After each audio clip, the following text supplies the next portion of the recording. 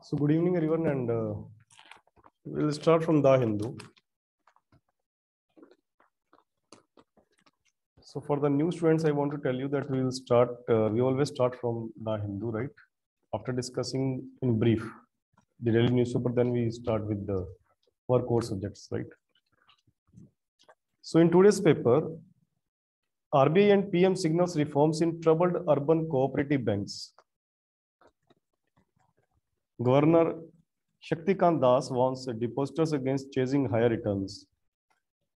RBI Governor Shaktikant, uh, Shaktikant Das on Sunday indicated that the banking regulator will bring in sweeping regulatory changes to reform urban cooperative banks that have been plagued by a spate of failures and warned people against parking their savings in banks offering high returns. While terming the government decision to raise the insured limit for bank deposits to rupees 5 lakh from 1 lakh with a 90 day limit to pay out such deposits as landmark developments. Mr. Das stressed that the payment of deposit insurance should be seen as a measure of the last resort. So definitely this topic is very important and the issues related with the urban cooperative banks. तो आप लोगों को तैयार ये करने that what are the issues of urban cooperative banks and what government is doing to cope up with that problem, right? So इसको आप लोग पढ़ सकते हैं issue of the urban cooperative banks अब देखिए जो खासकर जो नए स्टूडेंट्स हैं, वो काफ़ी चीज़ें ऐसी हैं जैसे इसमें मिक्स न्यूज़ आएँगी।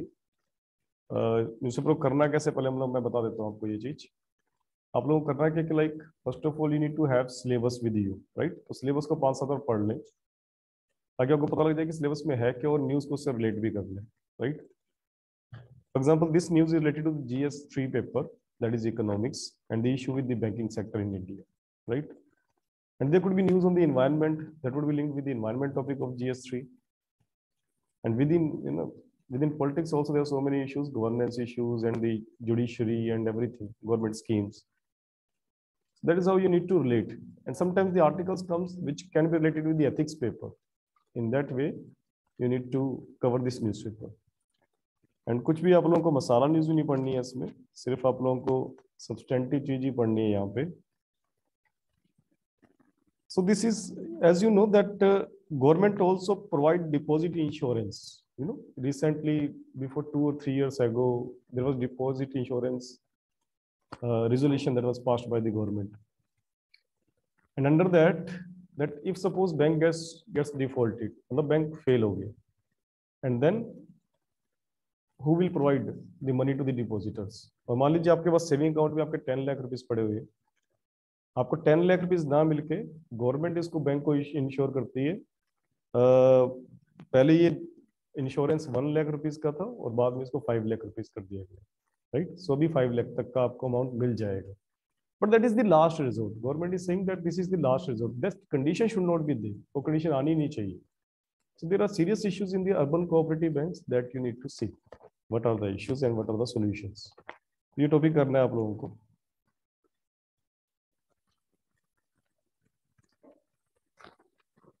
And then PM to open Kashi Vishwanath corridor today the 400 metre long Kashi Vishwanath corridor in Varanasi connecting the ancient temple dedicate to the Shiva the of the Ganges would be inaugurated by prime minister Narendra Modi on Monday देखिए जैसे मैंने को बताया कि like news we need to relate it with the our GS syllabus so first of all this news can be related to to the tourism sector right uh, the respective gain in the form of economic development that also you can say. Right? इसके अलावा Namami Gange project से जोड़ सकते हैं आप लोग इसको so in that way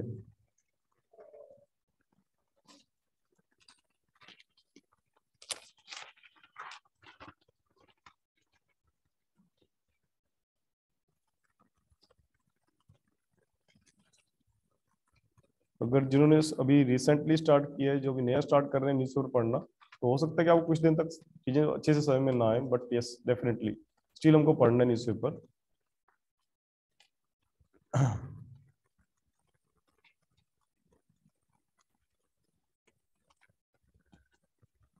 page number three F food and agricultural organisation recognise tribal farmers drive to revitalise soil health Nutrition sensitive farming system adopted in three Rajasthan districts has improved quality of produce. As you know that soil conservation and uh, doubling the farmers' income, welfare of the tribals, all these are the topics in your GS paper. So this news caters all these these uh, topics, right? अब लोग देखना क्या कि what are the measures that are used by the Rajasthan farmers in these three districts and uh, how it conserve the soil health and how it ensures the welfare of the tribals that you need to see in this news. और ऐसा ज़रूरी नहीं है कि आपको exactly exactly इसी के ऊपर क्वेश्चन आए एग्ज़ाम में बट इसको आप लोग एज एन एग्ज़ाम्पल भी यूज़ कर सकते जैसे कि आपके एक मेंस में क्वेश्चन आया था like mention the two act which provides the welfare for the tribals right इस तरह क्वेश्चन आए so, उस टाइम आप लोगों को एग्जाम्पल्स भी यूज़ करने पड़ सकते हैं।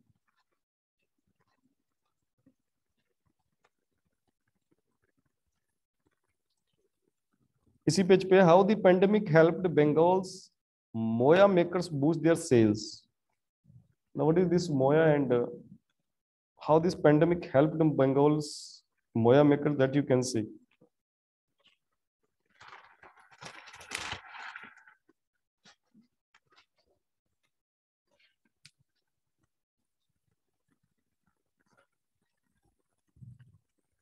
Number four. Office vacancies rising in Bengaluru show data. Increased office space additions being cited as the main reason as more companies get back to offices for work over a year and a half after working from home. Property consultants said office vacancy levels have risen in cities such as Bengaluru. The reason new office space additions.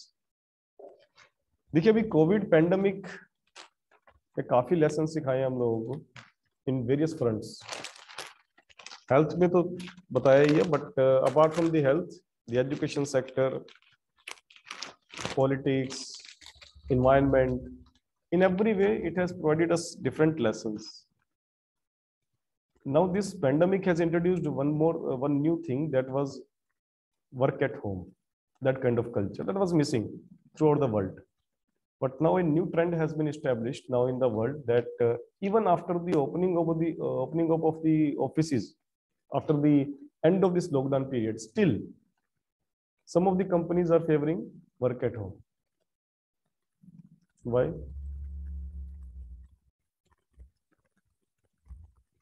Anybody? What could be the reason?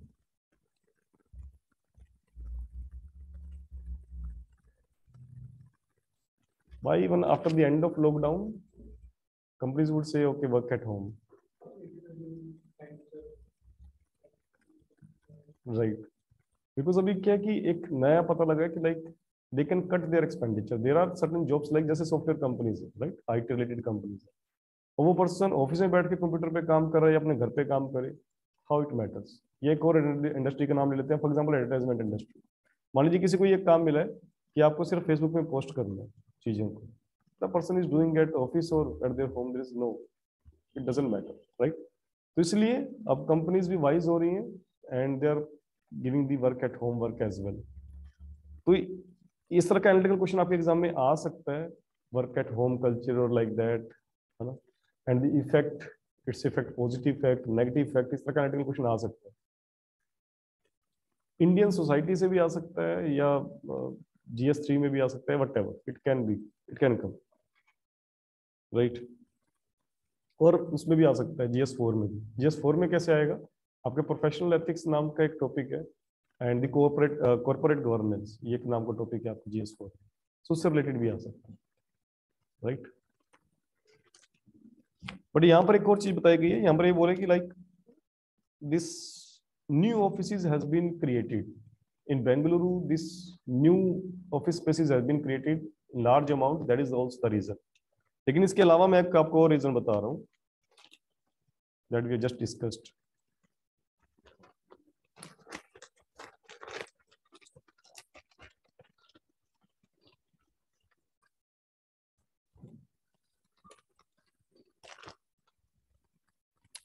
page number five no need to panic over anti conversion bill government keen to table in it winter session the state government will strive to introduce the anti conversion bill in the winter session of the legislature Karnataka chief minister Basavaraj Bommai said in Hubli on Sunday. Religious convergence is not good for society. It leads the problem in the family.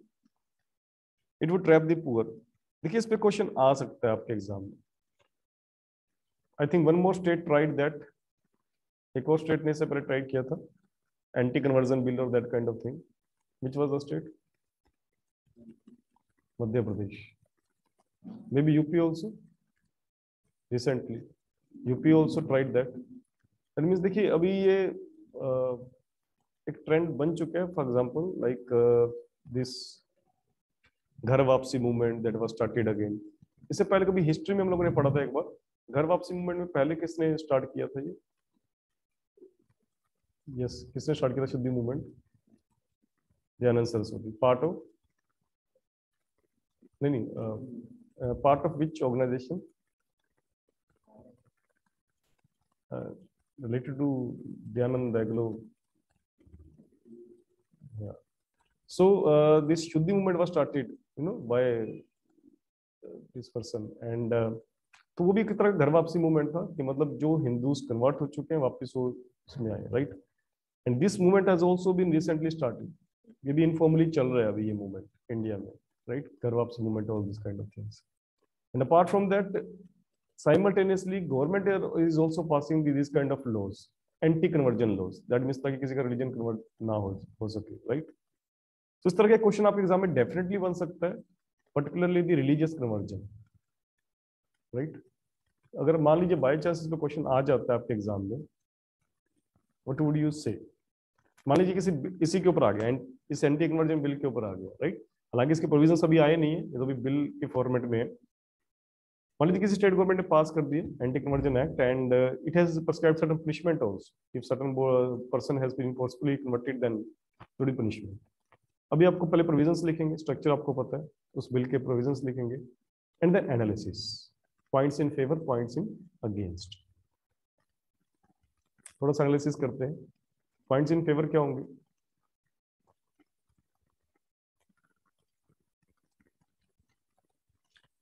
Anti conversion bill को आपने support करना है। उससे related points बोलने yes anybody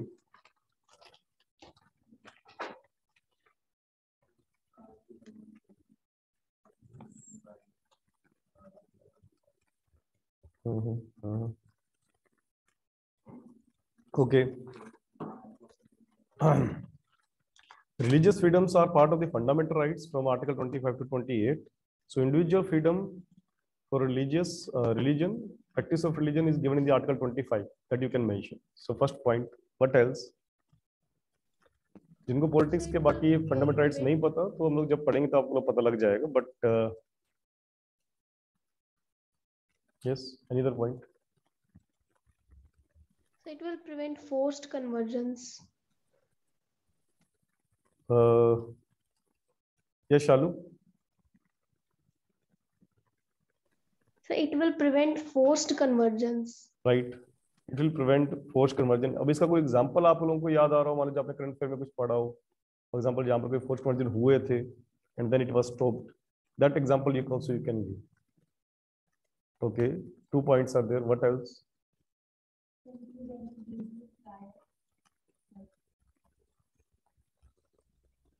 okay it will you know if uh, this anti-inversion law is there then uh, the law and order situation can be maintained in the form of religious roles okay three points और कुछ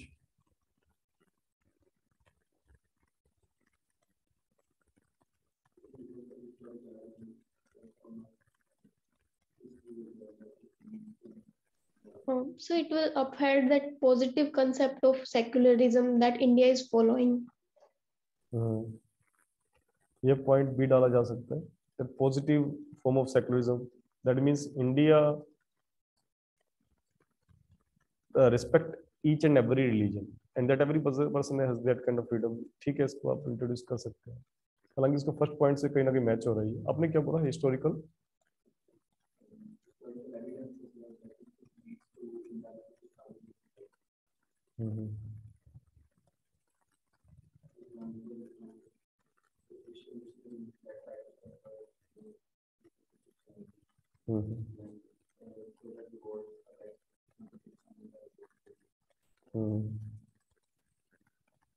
चलो points in against बताएँ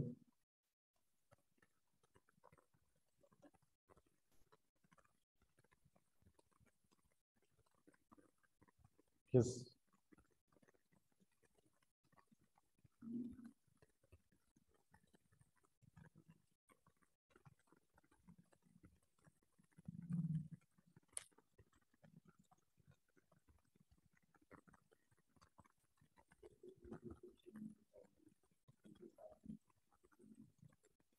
What kind of disharmony?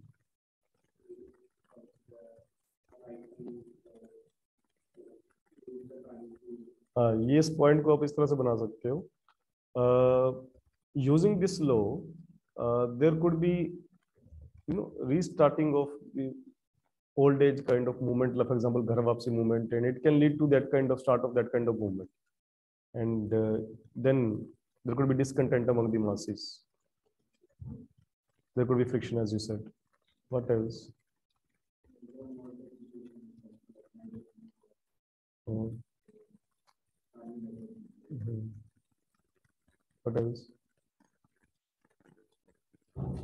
देखिए, इससे पहले cow slaughter से regarding भी government bill लेकर आई थी and that was also misused as you know right so this laws are certainly misused and how to define objectively that that person is converted there is a fine line है ना क्या वो अपनी मर्ज़ी से कन्वर्ट हुए या उसको किसी ने फोर्सफुली कन्वर्ट किया then who will decide who will जज that right that kind of thing would be there so इस तरह कुछ पॉइंट्स आप लोग न्यूज़पेपर में पढ़े।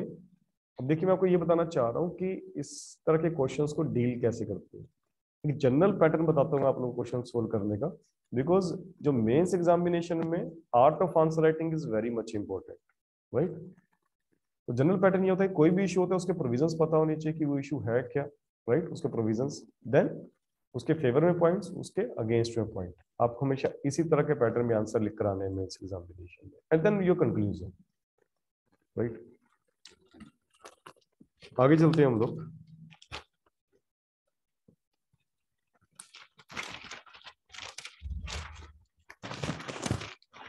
Page number six editorial page freedom and power elected leaders must keep their promises of freedom and equality for their people since this his election campaign last year us president ये हालाँकि हमारे लिए इतना important नहीं है US से regarding इसको छोड़ दें आप लोग The evolution and framing of the constitution, if does not impose with reason the same burden of accountability on the judiciary as the executive and the legislature. Constitution Day was celebrated on November 26 this year too, with the government of India organized a grand event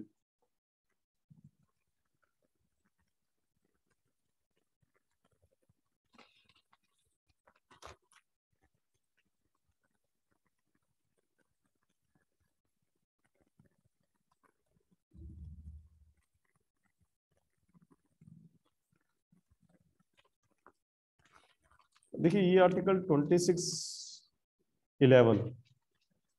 The date when we adopted our constitution, right?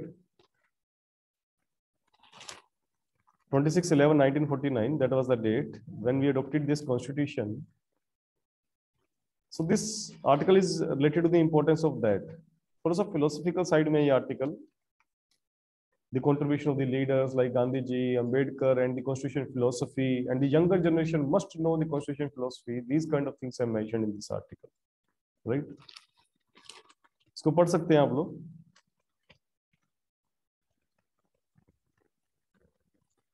and then the stepping stones in the post-pandemic world in building global economic partnership, which is critical. There is a window for India to take on a crucial role. The COVID 19 pandemic has profoundly impacted lives and livelihoods across the world, an economic catastrophe that affected growth, trade and investments and employment. जैसे कि मैंने आपको बताया कि pandemic के काफ़ी effects थे उनमें से एक इफ़ेक्ट था economic slowdown in this article is catering that kind of thing only इसको भी पढ़ लें आप लोग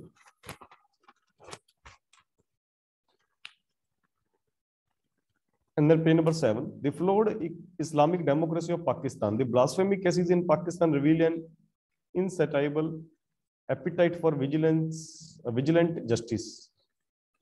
By not making Pakistan a theocracy, even after short slightly, uh, slightly, slightly establishing it as uh, a Muslim nation, Muhammad Ali Jinnah provided an excellent opportunity for that country to peacefully coexist within the Committee of Secular Democracies. किसी को पता blasphemy क्या मतलब क्या होता है blasphemy का? Anybody blasphemy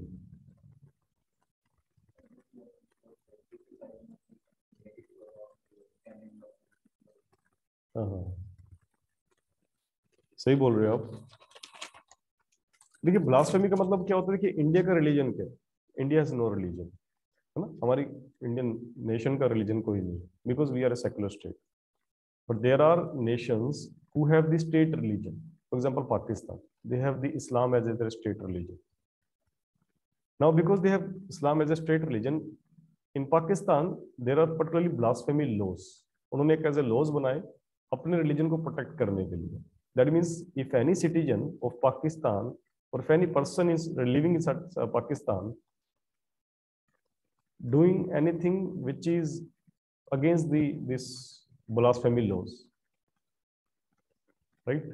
That person can be punished.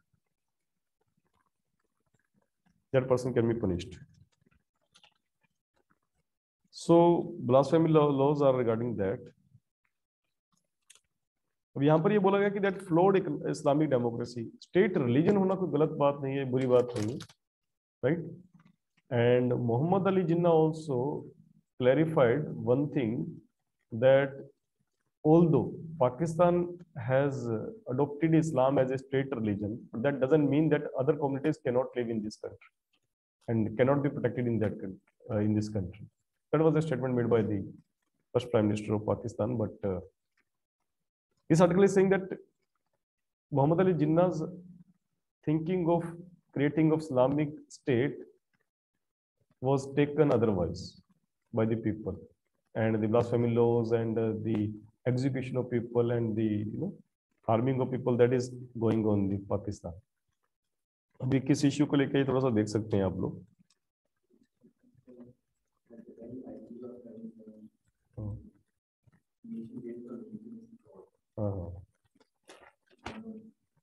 yeah you are right but what i'm saying still if any state has religion but that that is also for like they're taking otherwise right देखिए, आपको पता है कि उन्होंने इस्लाम state क्यों बनाया था? Because he was Mohammad Jinnah believe that in India they won't come at any time in political power उनको पता था कि हम पोलिटिकल पावर में नहीं आएँगे because Hindus are in majority partition of India the prime reason of partition of India was a political reason और चाहे वो कांग्रेस पार्टी और चाहे वो this Muslim League both parties right did for the political reasons. इसको हम लोग history में डिटेल में पढ़ेंगे मॉडर्न हिस्ट्री में बट uh, यहाँ तक इतना काफ़ी है then the better part of valour pilots must not succumb to pressure or yield to temptations of adventurism. The tragic death of Chief of Defense Staff, General Vipin Rawat, remained, reminded me of my days in the army and civil aviation. When with the Prime Minister Morarji Desai on board crashed near Jorat, Assam. इसको भी देख सकते हैं आप लोग इस article को because अभी एक्सीडेंट रिसेंटली हुआ है और मे भी इस पे कुछ क्वेश्चन आ जाए किसी तरह का चांसेस कम है हालाँकि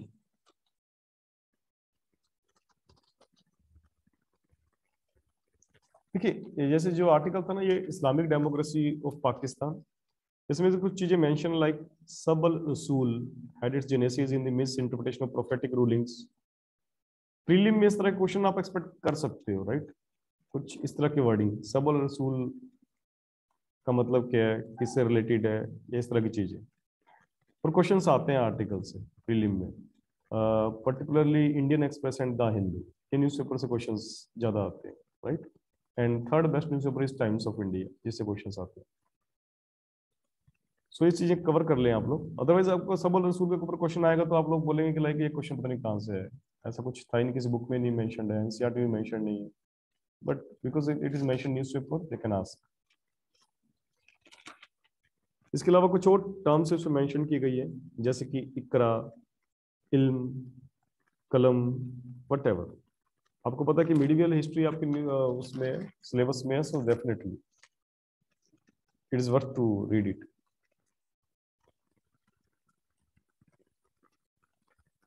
इसी पेज पे the dream of being a chip hub manufacturers need to come together for India to make a mark in the niche chip industry India is aiming to manufacturing silicon semiconductor chips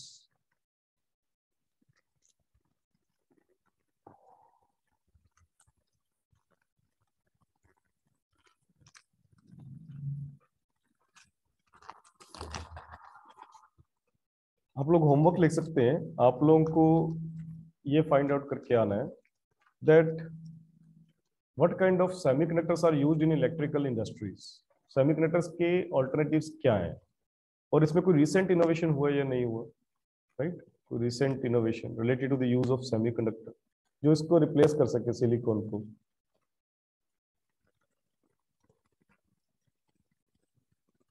Right right? जैसे कि graphene के ऊपर already question आ चुके हैं prelim में आपको पता है ग्राफिन के ऊपर। सो so, इस तरह क्वेश्चन आ जाते हैं आपके एग्ज़ाम में। अभी इंडिया और ये भी पढ़ के आना है कि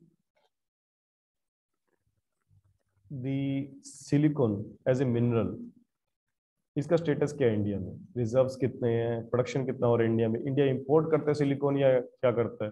ये भी पढ़ के आना है आप लोगों को। Right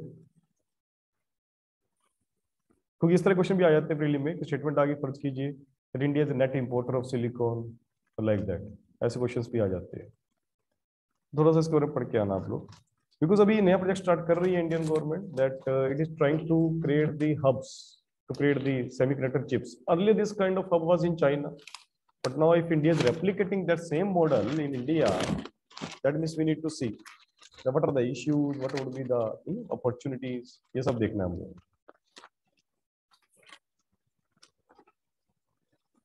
Page number eight, Manipur and Assam wanted to retain a FASPA.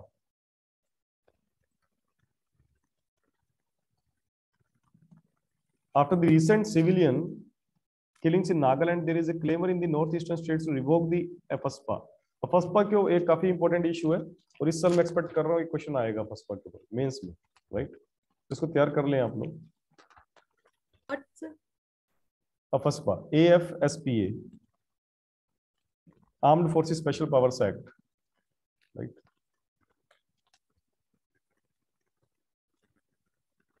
And इस न्यूज़ को भी पढ़े आप लोग.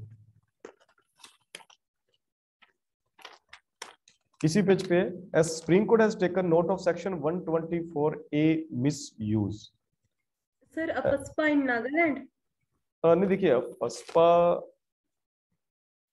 not uh, not only I mean आपको एक होमवर्क दे भी चुका हूँ कि first is not only in the Nagaland there are other states as well right और आप लोग फाइंड भी करके आए थे इसको certain parts of Arunachal Pradesh and Assam and Manipur any other no okay तो इस तरह क्वेश्चन आ सकते हैं इस बार एग्ज़ाम में आपके राइट इसके प्रोविजंस पता होने चाहिए आप लोगों को इश्यूज़ पता होने चाहिए again points in favour points in against सिर्फ़ क्रिटिसाइज नहीं करके आना पार्ट को मान लीजिए क्रिटिसिज्म का क्वेश्चन आ गया कि पार्ट के क्रिटिसाइज करना है you need to write both kind of points points in favour points in against Then next important news is Supreme Court has taken note of section 124A misuse. आपको पता है कि section 124A sedition के ऊपर है, right? And you know what is the meaning of sedition. अब देखिए ये इतना कॉन्ट्रोवर्शियल क्यों रहता है that because it is miss right जैसे कि मान लीजिए एक बार ऐसा केस हुआ था आपको पता कि यूपी में एक बार मायावती की गवर्नमेंट थी and Mayawati what she did she erected elephants because it was a party symbol but उन्होंने पब्लिक पार्क में सब जगह एलिफेंट्स एलिफेंट्स कर दिए as a you know statues and one person put Facebook that uh, uh, on on his wall or whatever that uh, she's misusing uh, you know the wealth of state. That person was arrested based on section 124a like that. Like that, it, it was so many so so many times it was it is misused. I mean, every day it is misused by the government machinery. इसके ऊपर question आ सकता है definitely and not only section 124 is important There are other this kind of laws as well जैसे हमने I T act में देखा था there are the similar laws in I T act house provision in the I T act house तो सारे sedition acts आप लोगों को देख लें।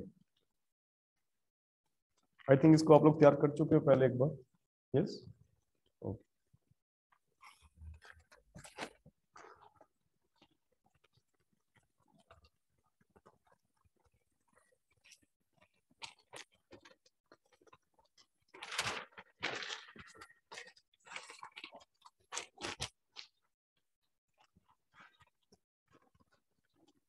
Page number 10, S-400 is symbol of Indian sovereignty, Russian diplomat. S-400 is air defense missile system that India procured from Russia recently.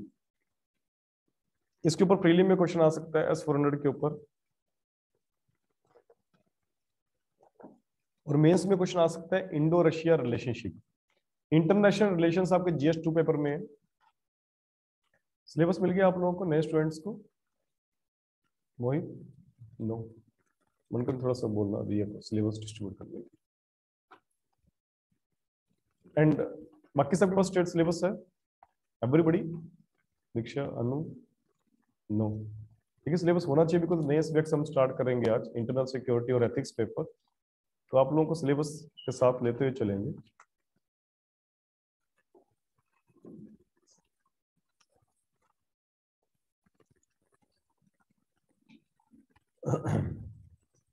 so, internal, international relations is part of GS2. ये एक दो extra भी ले आना, ठीक है? जिनके पास नहीं है, दो तीन एक्स्ट्रा ले आना। And for me also so Indo Russia relation के लिए भी इंपॉर्टेंट है ये। एस फोर हंड्रेड जिसको नहीं पता like air defence missile system क्या मैं आपको बता देता हूँ। एयर डिफेंस मिसाइल सिस्टम क्या देखिए मिसाइल आपको पता होगा। That missile carries payload right missile अपने आप में कुछ नहीं है वो तो एक सिर्फ़ ट्रांसपोर्ट व्हीकल है। मिसाइल के अंदर जो पेलोड होता है जो बेसिकली एम्यूनिशन होते हैं राइट जो बॉम्ब उसके अंदर डाला जाता है बेसिकली वो जाके you know that gets blasted right और मिसाइल का काम होता है सिर्फ़ ट्रांसपोर्ट करना। एंड uh, अब जैसे मान लीजिए पाकिस्तान से कोई मिसाइल फायर हुई और इंडिया के लिए फायर की गई है तो उससे बचाने के लिए हम वैसी एक मिसाइल इंडिया से लॉन्च कर देंगे राइट देखिए, बाकी वैसे तो इसको साइंस एंड टेक में पढ़ते हैं हम लोग सारी चीज़ों को। ब्रीफली बता रहा हूँ मैं आप लोगों को।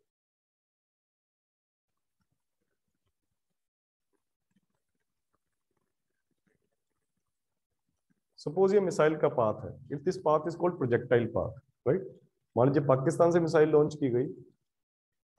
अभी वो एयर में ही है।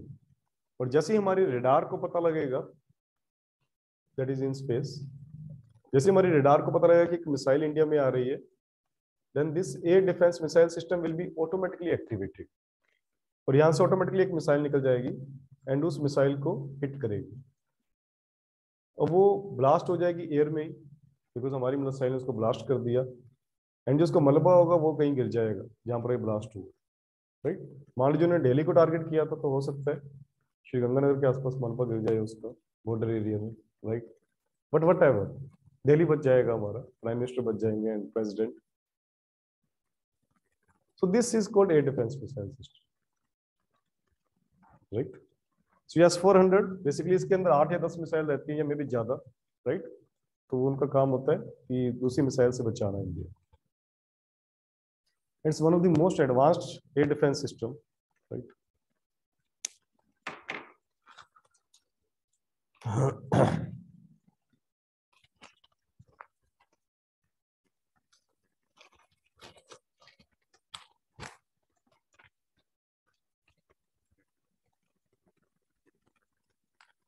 Pin number 11, G7 calls on Russia to de-escalate wars against Ukraine, Ukraine incursion.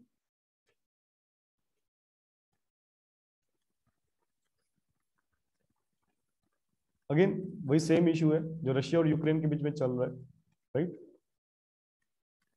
नए स्टूडेंट्स एटलस लिख रहे हैं क्या? तो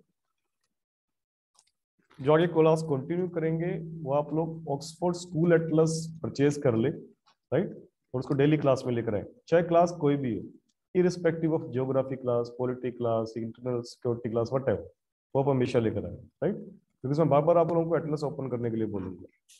फ़िलहाल के लिए बता देता हूँ both Russia and Ukraine are European countries right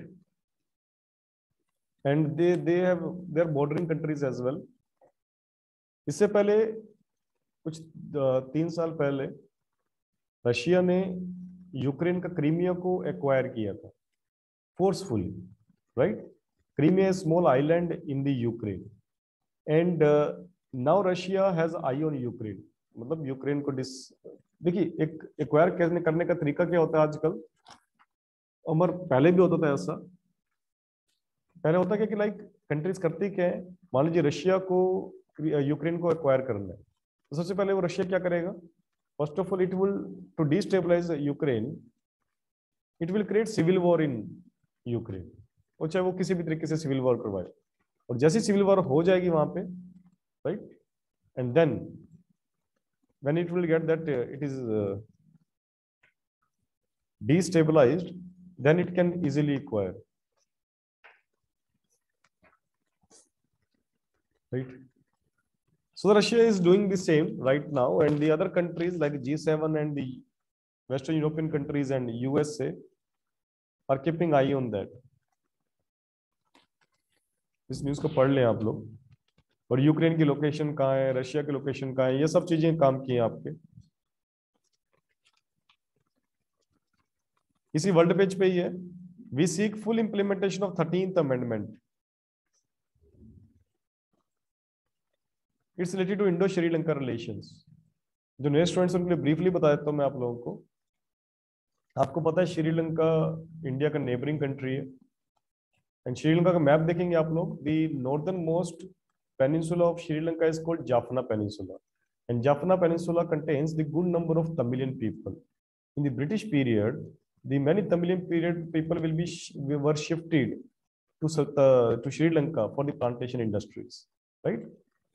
and uh, these people are devoid of their rights उनको rights नहीं मिले वहां पे right and that is why these people revolted against the government And 13th amendment जिसकी बात हो रही है अभी यहाँ पर, ये उनको राइट्स देने के बारे में था। मतलब थर्टीन अमेंडमेंट्स इंप्लीमेंट करने चाहिए, ऐसा इंडिया या बाकी कंट्रीज़ बोलती हैं यूनाइटेड नेशन रेजोल्यूशंस बोलती हैं राइट एंड थर्टीन अमेंडमेंट को इम्प्लीमेंट करवाना मतलब to give the rights to the Tamilian people short में बता रहा हूँ मैं आप लोगों को, बाकी आप इसके बारे में पढ़ लेना।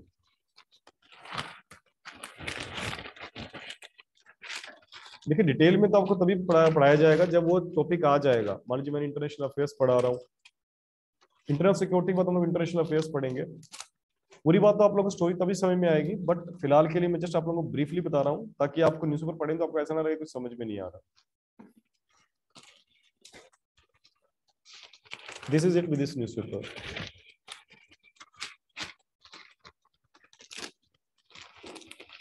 अभी थोड़ा सा आप लोग सिलेबस देखिए, आप लोगों को जो मिला है अभी। जीएस थ्री पेपर देखें GS three it has four GS papers GS one two three four GS three काफ़ी डाइवर्सिफाइड पेपर है। यहाँ पर economics agriculture environment science and technology disaster management so many topics are there and ये जो disaster and disaster management के जो नीचे लिखा गया है linkages between development and spread of extremism role of external state and non state actors in creating challenges to internal security challenges to internal security through communication network role of media and social networking sites networking sites in internal security challenges basics of cyber security money laundering and prevention ये जितने भी topics हैं, ये internal security से related आप इसको mark out कर सकते हैं। Starting from the linkages between development and spread of extremism till various security forces and agencies and their mandate ये सारे के सारे आपके जितने भी इश्यूज़ हैं these are part of internal security तो आपको पता है कि हर एक जीएस पेपर 250 मार्क्स का है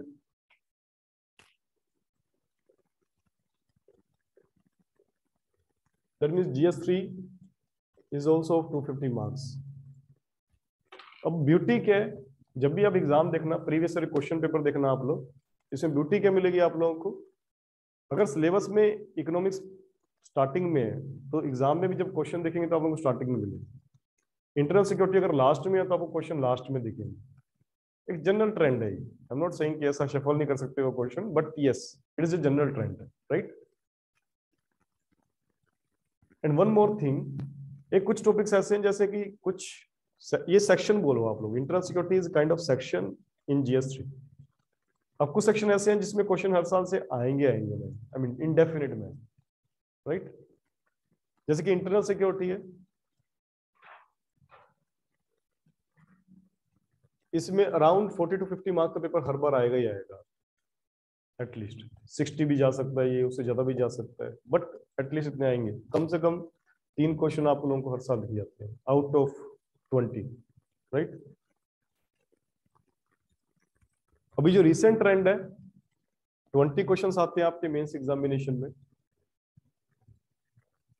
First ten question is of ten marks and then next ten question are of fifteen marks तो ये 150 के और ये 100 की 250 और इंटरनल सिक्योरिटी के ज़्यादातर क्वेश्चन 15 मार्क्स की कैटेगरी में आते राइट अब स्टूडेंट्स क्या करते हैं लाइक इकोनॉमिक्स में तो टाइम देंगे लाइक सिक्स मंथ का, तीन महीने या छह महीने उसको पढ़ेंगे। और इंटरनल सिक्योरिटी को सोचते हैं कि लास्ट में पढ़ लेंगे एग्ज़ाम टाइम के टाइम में, और दस दिन में पढ़ लेंगे कुछ नोट्स उठा के question right although internal security is most scoring in GST अगर मैं बोलूँ सबसे इजी क्वेश्चंस क्वेश्चंस किस तरह के आते हैं, मैं ये नहीं कहता कि एक आधा कोई एक्सेप्शन हो सकता है कि क्वेश्चन समय में ना आए।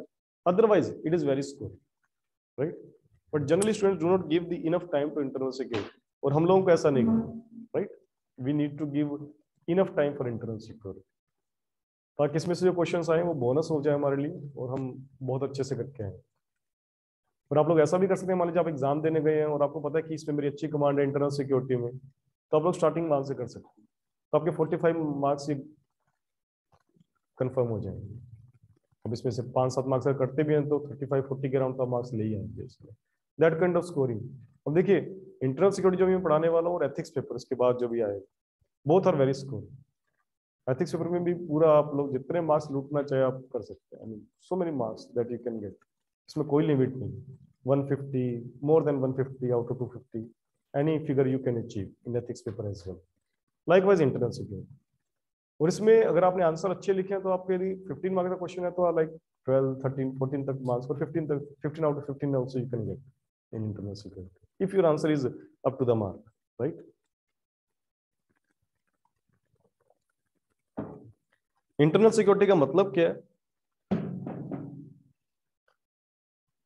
अभी सिक्योरिटी तो चलो स्वयं में सबको स्वयं में आता है कि कंट्री को सिक्योर करना right from any kind of danger, terrorism, war, or any kind of danger. बट अब यहाँ पर बात करें इंटरनल सिक्योरिटी इसका मतलब कोई ना कोई एक्सटर्नल सिक्योरिटी भी रहती होगी इसलिए उन्हें इंटरनल सिक्योरिटी वर्ड यूज़ करते हैं हम लोग.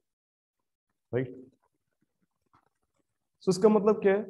इंटरनल सिक्योरिटी का मतलब क्या कि विद इन कंट्री और विद इन कंट्री जो हमारे चैलेंजेस हैं that is called internal security right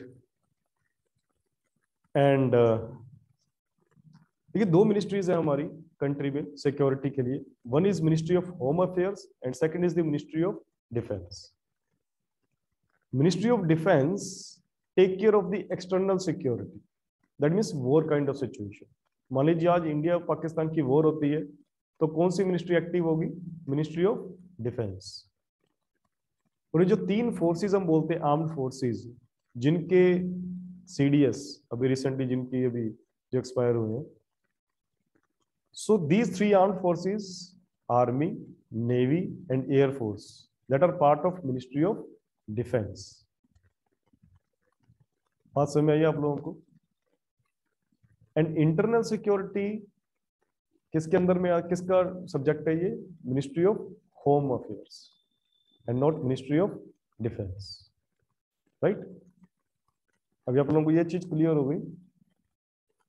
सो भी आप लोगों को सबको बॉर्डर मूवी याद आ रही होगी। आई मीन देखी होगी आप लोगों ने I am sure right it is very you know loving movie in Border movie when there was a announcement that Pakistan 1971 war को लेके बनाई गई मूवी कि पाकिस्तान ने अटैक कर दिया इंडिया के ऊपर and now India need to take action तो आप लोगों ने देखा होगा and Sunny Deol and all this Akshaye Khanna then they move towards border because they were part of army and जो सुनील शेट्टी का जो रोल था he was not belong to the army वो किससे बिलोंग कर रहा था? बीएसएफ राइट और उन्होंने जैसी आर्मी आती है, वो बोलते हैं कि बीएसएफ पीछे हट जाओ आर्मी आ गई। अभी आर्मी टेक केयर करेगी बॉर्डर की और आप पीछे चले जाओ। बी बीएसएफ को उन्होंने बोला। बीएसएफ का काम क्या है?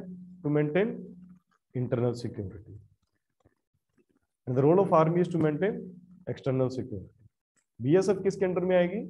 मिनिस्ट्री ऑफ़ होम अफेयर्स और आर्मी किसके अंदर में आएगी? मिनिस्ट्री ऑफ़ डिफेंस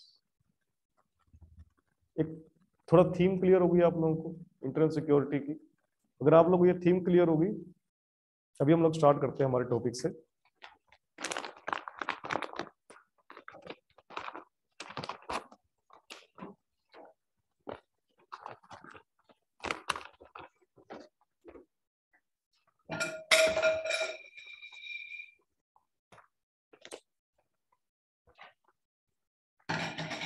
सो आप लोग हेडिंग डाले internal security and you start writing since independence since independence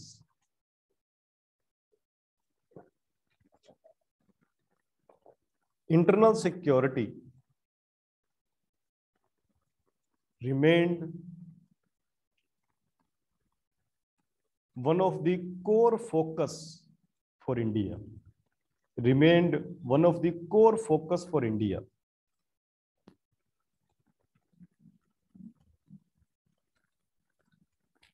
India faced certain challenges.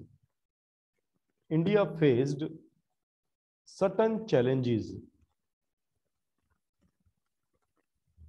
Like cross border terrorism, like cross border terrorism, comma, role of non state actors, comma, role of non state actors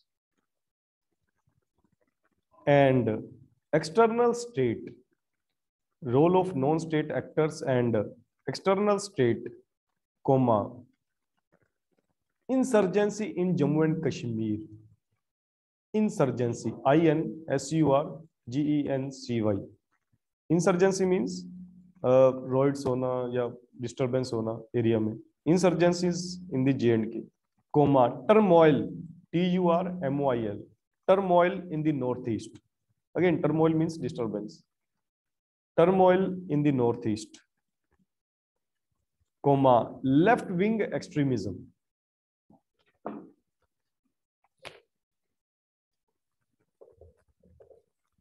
left wing extremism. Bracket में लिखो L W E extremism का मतलब होता है जो, जैसे armed revolt जो करता है। आर्म्ड रिवोल्ट मतलब जो हथियार उठा के काम करता है, उसको एक्सट्रीमिज्म बोलते हैं राइट जो रेडिकल ग्रुप्स होते हैं। लेफ़्ट विंग एक्सट्रीमिज्म और नक्सलिज्म। एल डब्ल्यू ई को नक्सलिज्म भी बोला जाता है। रिपीट लेफ़्ट विंग एक्सट्रीमिज्म और naxalism N X N X A L I S M comma advent of separatist groups advent of separatist groups कोई एग्जांपल देगा सेपरेटिस्ट ग्रुप्स का? Khalistan yes NSCN Khalistan NSCN could be example of separatism separatist. मतलब जो India से अलग होना चाहते हैं like that separatist groups cyber security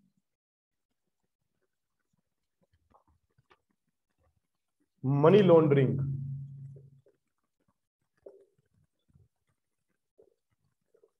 money laundering money laundering मतलब हवाला, जिसको हिंदी में हवाला बोला जाता है।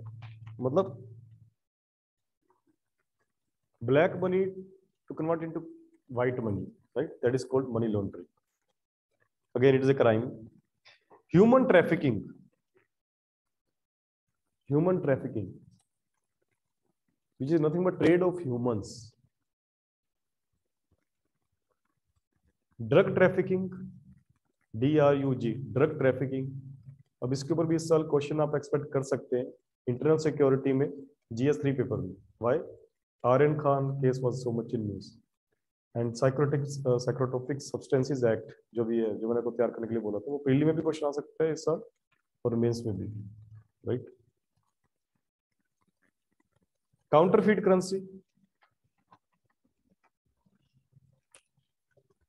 काउंटरफीट का मतलब होता है fake currency issue of counterfeit currency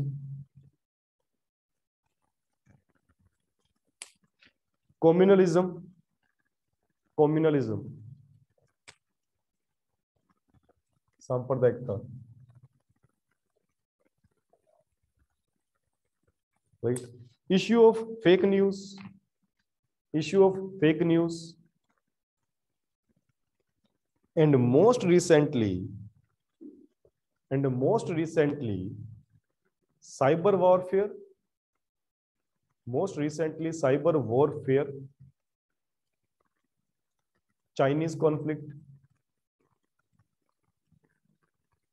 bio warfare etc bio warfare etc तो ये सारे चैलेंजेस हैं जो मैंने आपको कुछ मेंशन किए जो इंडिया ने फेस किए या इंडिया फेस कर रहा है related to the internal security तो we will read one by one along with syllabus तो आप लोग सिलेबस में देखें तो हमारा पहला टॉपिक है linkages between development and the spread of extremism right so first of all, we will start with the left wing extremism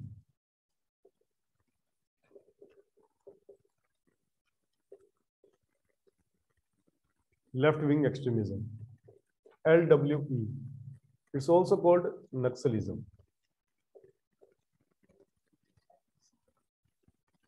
so we'll start with that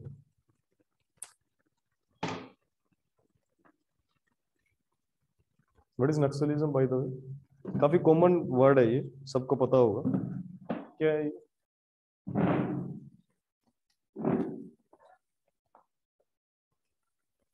Yes, please.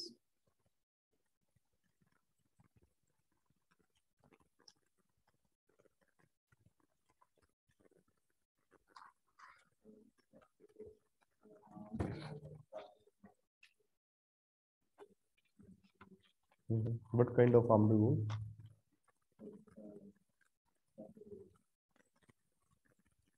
extra separatism what kind of ideology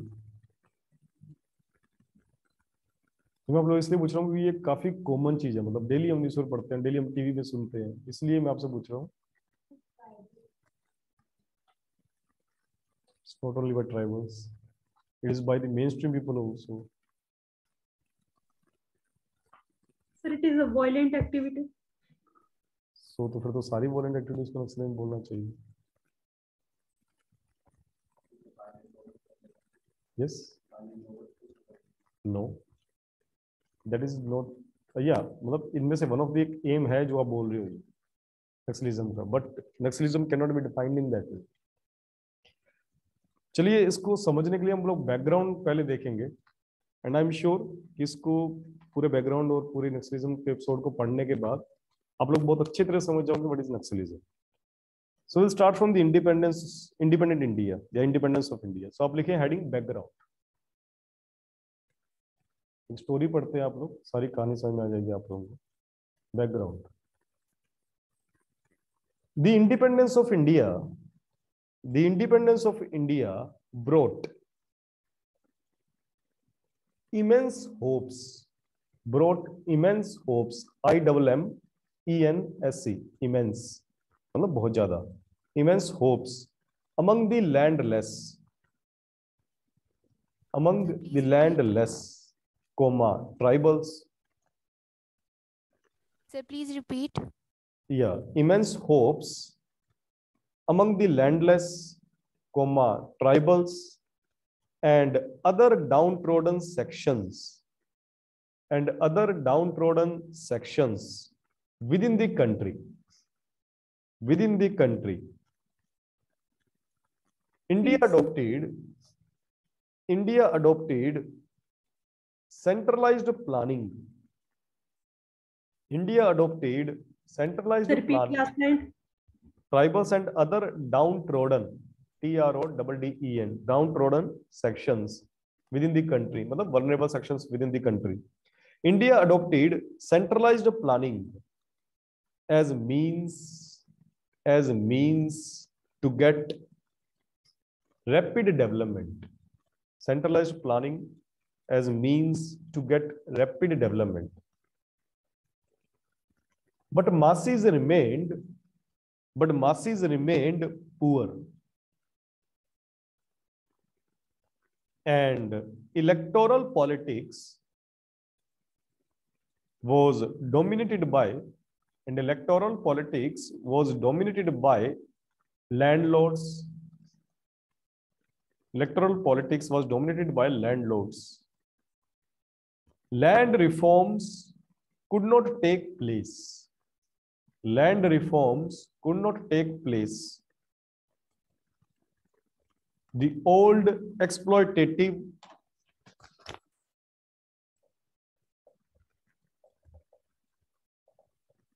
the old exploitative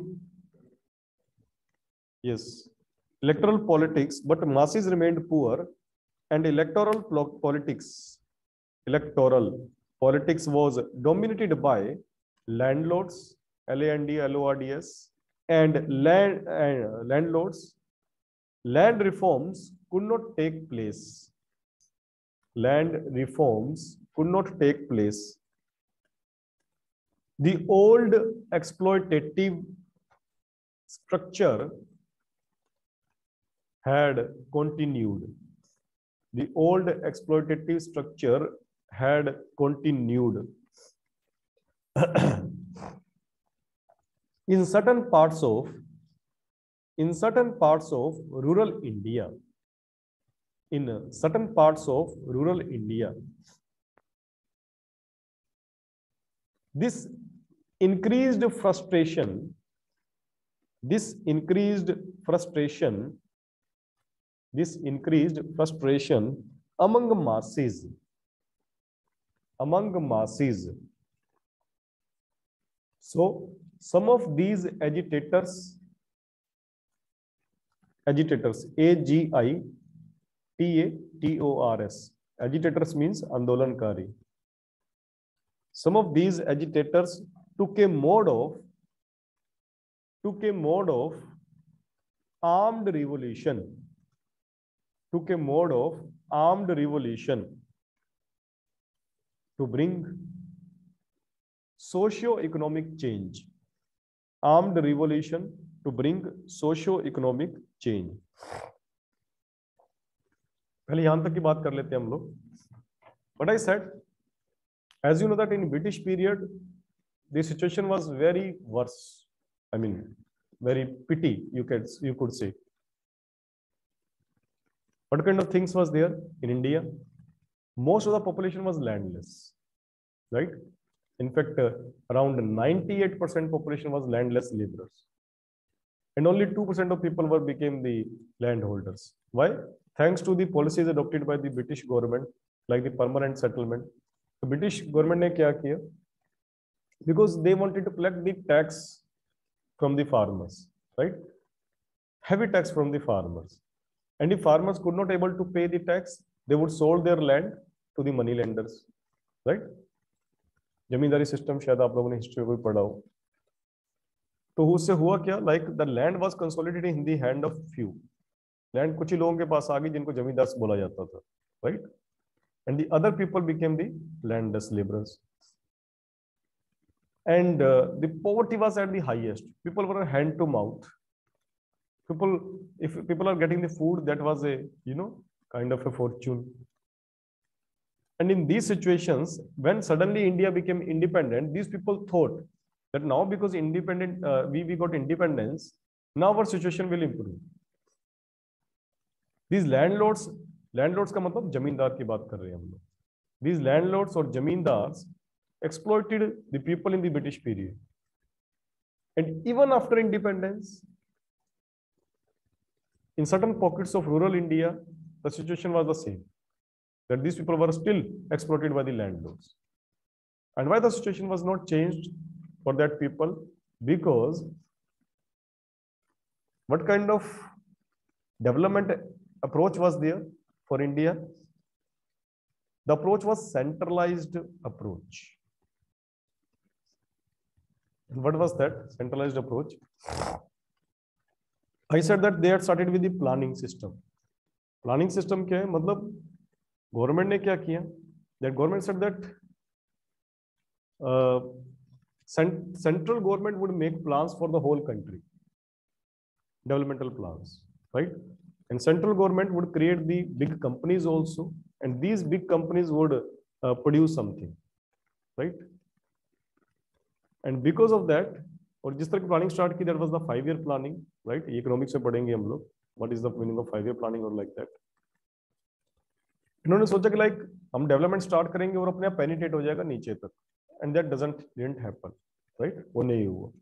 and इसके कारण कुछ areas फिर भी poor रहे and that created the frustration among these people because they are still that very much exploited by the landlords next line में लिखो।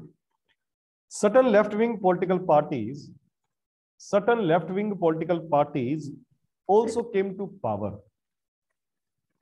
ये बार बार हम लोग लेफ़्ट लेफ़्ट बोल रहे हैं। क्या मतलब है ये लेफ़्ट का मतलब क्या है? फिलोसफी क्या है ये लेफ़्ट की?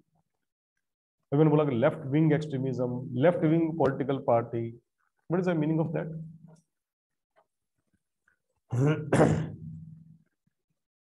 yes.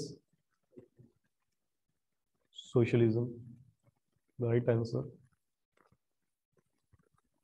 Anything else?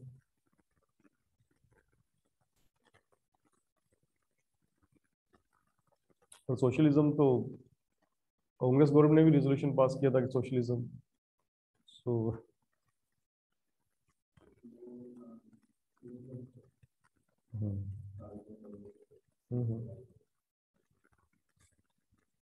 So, what is left then?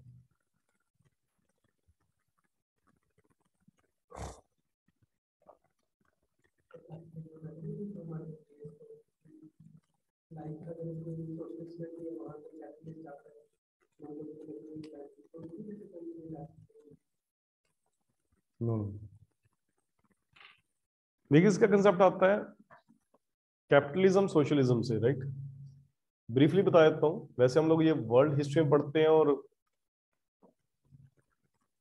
Economics में पढ़ते हैं हम लोग यस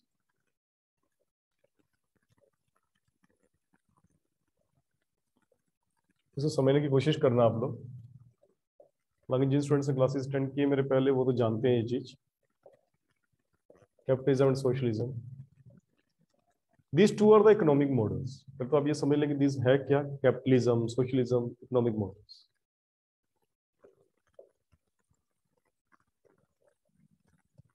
right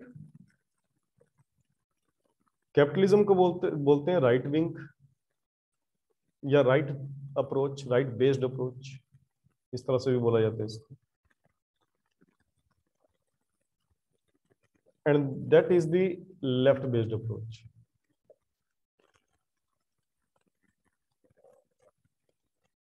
right अब ये राइट लेफ़्ट वर्ड आए कहाँ से यूके की पार्लियामेंट में कुछ लोगों की आइडियोलॉजी अलग थी, और वो पार्लियामेंट में राइट साइड में बैठते थे।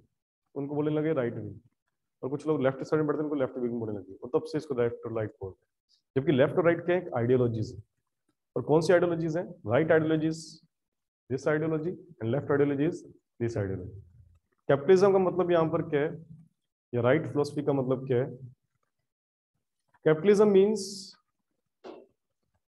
the means of production are in the hands of only few people कुछ ही लोगों के पास सारे ओनरशिप है लैंड की ओनरशिप है, उनके पास रिसोर्सेज है, वो प्रॉफिट भी कुछ लोग ही कमा रहे हैं। और बाकी सारे लोग क्या है, उनको सिर्फ़ मिल रही है वेजेस मजदूरी मिल रही है। Otherwise the whole chunk of profit will get by the only few people and socialism means equal distribution of resources मतलब अगर लैंड है तो सबके पास लैंड है। अगर रिसोर्सेज है प्रोडक्शन के सबके पास प्रोडक्शन है। That is called socialism right and इस सोशलिज्म ऑब्जेक्टिव को अचीव करने के लिए कुछ थिंकर्स ने, जैसे कि कार्ल मार्क्स ने, बोला कि पॉलिटिकल स्ट्रक्चर को ही चेंज कर दो आप। And what kind of political structure what kind of political structure they have evolve communism अब कम्युनिज्म का मतलब क्या है? कि सारे रिसोर्सेज अब डिस्ट्रीब्यूट कैसे करें? दैट इज़ ए चैलेंज बोल तो दिया कि सोशलिज्म होना चाहिए डिस्ट्रीब्यूशन होना चाहिए। अब डिस्ट्रीब्यूशन करने के भी दो तरीके हैं। किस तरह का पॉलिटिकल स्ट्रक्चर हो सकता है? एक तो हो सकता है कि democratic political structure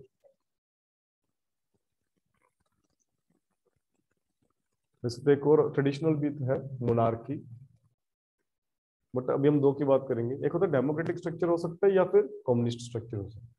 democratic structure मतलब कोई भी पावर में आ सकता है इलेक्शन जीत के right that is the democratic structure देखो multiple multiple political parties under the communism it means first of all there would be communist government and that communist party और the communist government will take जो भी resources है, जितने भी, चाहे वो land resources है, चाहे वो मिनरल्स है, वो सारे रिसोर्सेज कौन, किसके अंडर में आ जाएँगे? गवर्नमेंट अपने अंडर में ले लेगी। फिर गवर्नमेंट उसको डिस्ट्रीब्यूट करेगी right that is the philosophy of communism और यहाँ पर पार्टिसिपेंट भी एक ही होगा। इकोनॉमी में प्रोड्यूस भी एक ही होगा। और वो कौन प्रोड्यूस करेगा? गवर्नमेंट मतलब मान लीजिए बिस्किट भी बनाना है, या गाड़ी बनानी है, या शिप बनाना है, वो सब कौन प्रोड्यूस करेगा? गवर्नमेंट मतलब प्राइवेट प्लेयर का एग्जिस्टेंस ही नहीं। और जितने भी वर्कर्स काम करेंगे they have the ownership rights also profit भी इक्वली डिस्ट्रीब्यूट हो जाएगा, जो भी एक फर्म में काम कर रहे किसी कंपनी में काम कर रहे में काम कर रहे this is the typical communist philosophy तो कैपिटलिस्ट में ऐसा नहीं है स्टेट एक्वायर नहीं करती मीन्स ऑफ़ रिसोर्सेज अगर आपके वो घर है तो आप ही का है right you have given the right अगर कंपनी है तो आप ही की है। प्रॉफिट भी जो आप ले रहे हैं तो भी आप ही ले रहे हैं। That is philosophy of capitalism अभी जो लेफ़्ट विंग की बात कर रहा हूँ मैं देखिए इनक्वालिटीज किसके कारण आएँगी? कैपिटलिज्म मॉडल के कारण आएँगे। Because only few people have the resources other are poor people now, these left, these people who were the poor people in india, living in india, they wanted to have the resources. कि हमारे पास भी land होनी चाहिए और like that so they followed this philosophy socialism और the communist philosophy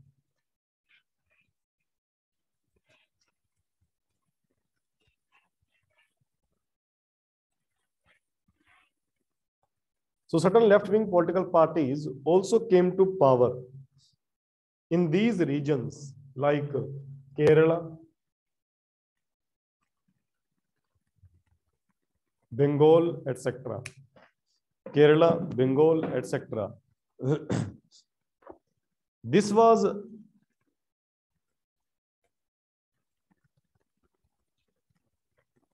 this was followed by this was followed by subsequent division of subsequent division of CPI, Communist, Communist Party of India, CPI.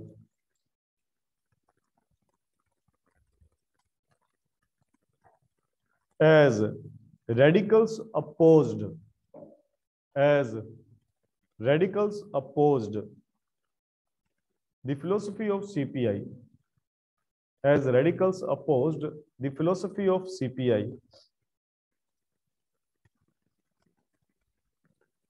which was based on democratic means. Which was based on democratic means. Instead instead these radicals wanted to use instead these radicals wanted to use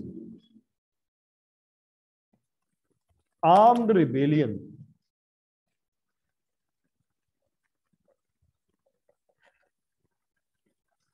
armed rebellion मतलब हथियार उठाना armed rebellion as way out as way out. It led to it led to formation of cpi marxist.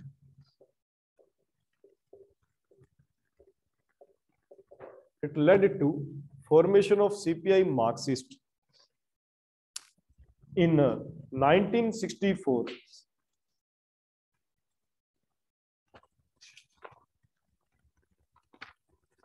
in uh, 1964 by split of CPI. By split of CPI. Initially, initially CPI M bracket में M लिख लेना M for Marxist. Initially CPI M mobilized certain tribals.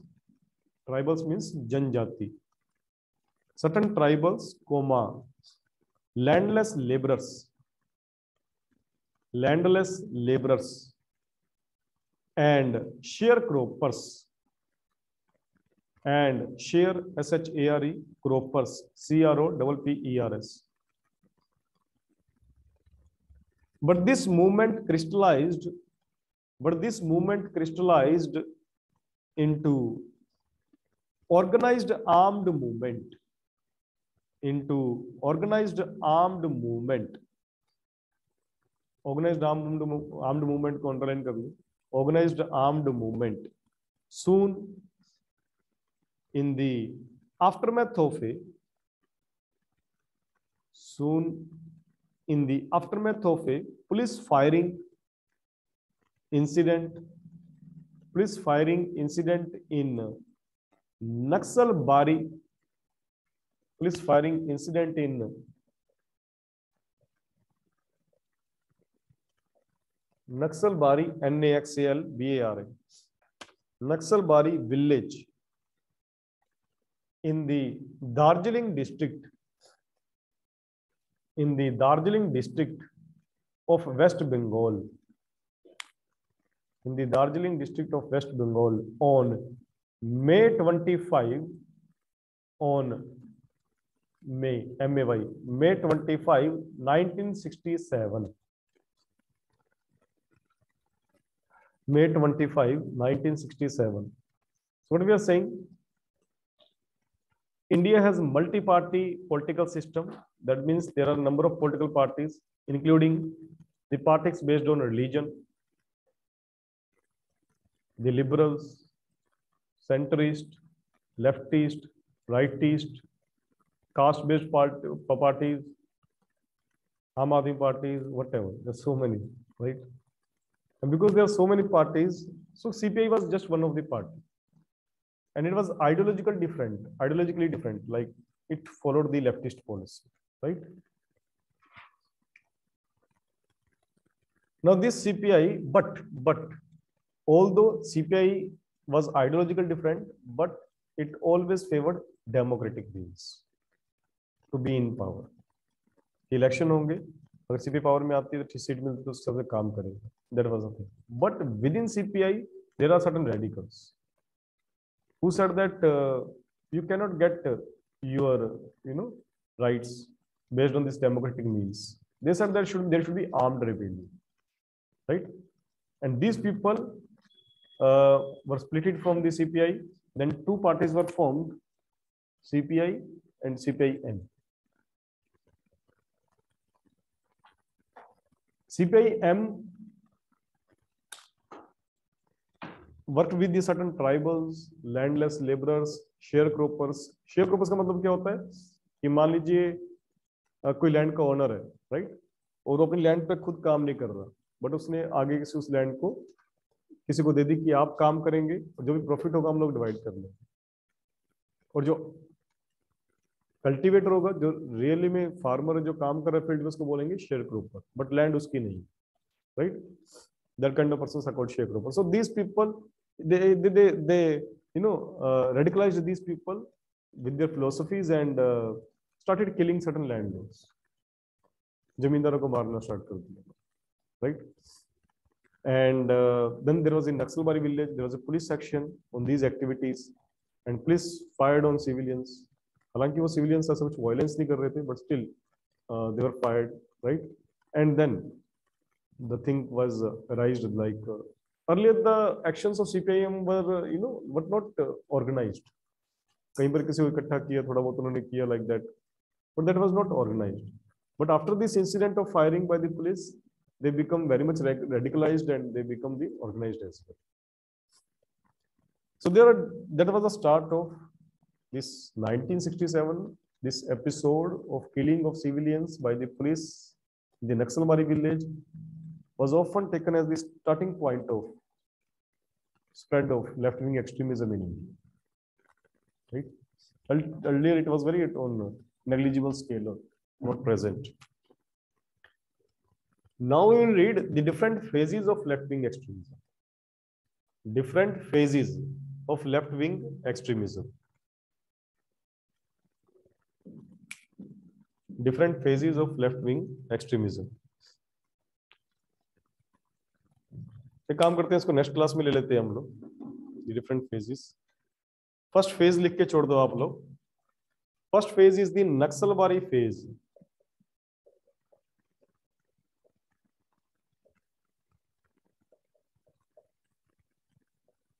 period is from 1967 to 72 The Naxalbari phase, 1967 to 72.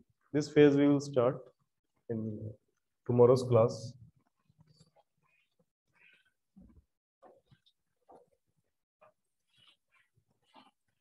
One more thing that uh, you need to revise your notes on daily basis, right? ऐसा आपको कभी नहीं करना कि like आज के notes weekly weekend में पढ़ रहे हैं हम लोग या दो या तीन दिन के बाद पढ़ रहे हैं। So class notes need to be revise regularly right because it's my habit to ask to ask question also in class from students so make sure that you are making revision as well So, we'll start in 10 minutes with ethics, right? There is a gap of 10 minutes.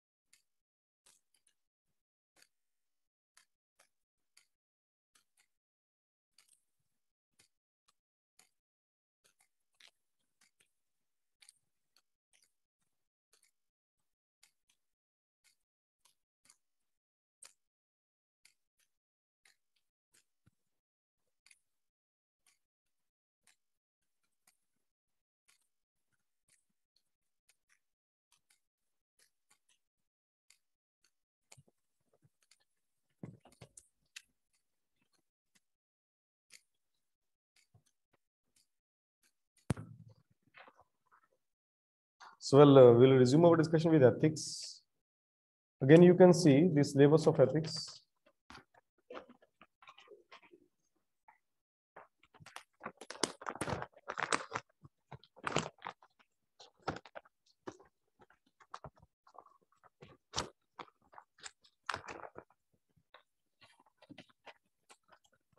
Uh, can you get uh, the from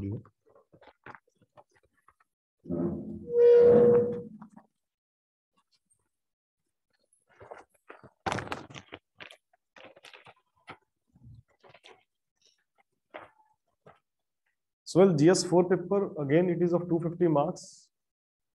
And as I told you that it is very scoring. अगर बाकी आपको GS paper में आपको 80, 90, 100, 110 तक marks मिल रहे हैं तो यहाँ पर आप लोग अपने मार्क्स लेके जा सकते हैं 150, 160, 140 इसके आसपास आपके मार्क्स आ सकते हैं right because it is relatively very scoring subject और मैं ऐसा क्यों बोल रहा हूँ आप लोगों धीरे धीरे समझ में आएगा जब हम लोग इसको पढ़ेंगे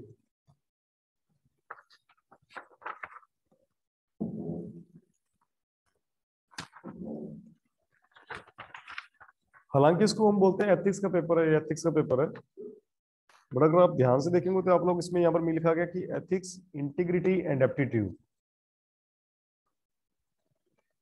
and there many other things as well इसमें और भी चीज़ें हैं।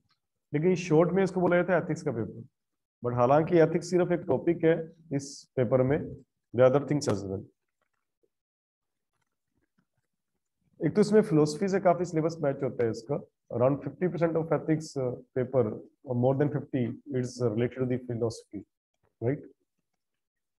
Because philosophy philosophy में भी हम लोग thinkers पढ़ते हैं like Vivekananda Mahatma Gandhi right? Plato Aristotle ये सब हम लोग यहाँ पर भी पढ़ेंगे। देखो आप लोग जैसे टॉपिक्स देखे आप लोग इसमें एथिक्स एंड ह्यूमन इंटरफेस तो अब ये कह सकते हैं कि ये जो फ़र्स्ट टॉपिक है हमारा this is related to the ethics and not only ethics also related to values and then attitude that is the next topic then aptitude and foundational values of civil services then there is emotional intelligence that is another topic then contributions of moral thinkers and philosophers from india and the world Then public civil service values and ethics in public administration. Then probity in governance and case studies. अभी case studies भले ये छोटा सा आप लोगों को दिख रहा हो कि लास्ट में एक टॉपिक है केस स्टडीज़ बट इसका वेटेज है fifty percent in paper that means जो भी आप लोगों ने ये देखो केस स्टडीज़ से ऊपर जितनी भी चीज़ें आप लोगों ने टॉपिक अभी नाम लिए हम लोगों ने ये थ्योरी पार्ट है।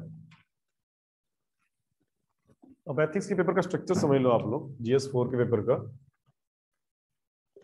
इसको दो पार्ट में डिवाइड करते हैं हम लोग। टोटल 250 मार्क्स का पेपर है। ऑन एंड एवरेज आप ऐसा मान लो कि 125 मार्क्स की थ्योरी पेपर है। ऑन एंड एवरेज अपर ऊपर नीचे हो सकता है इसमें।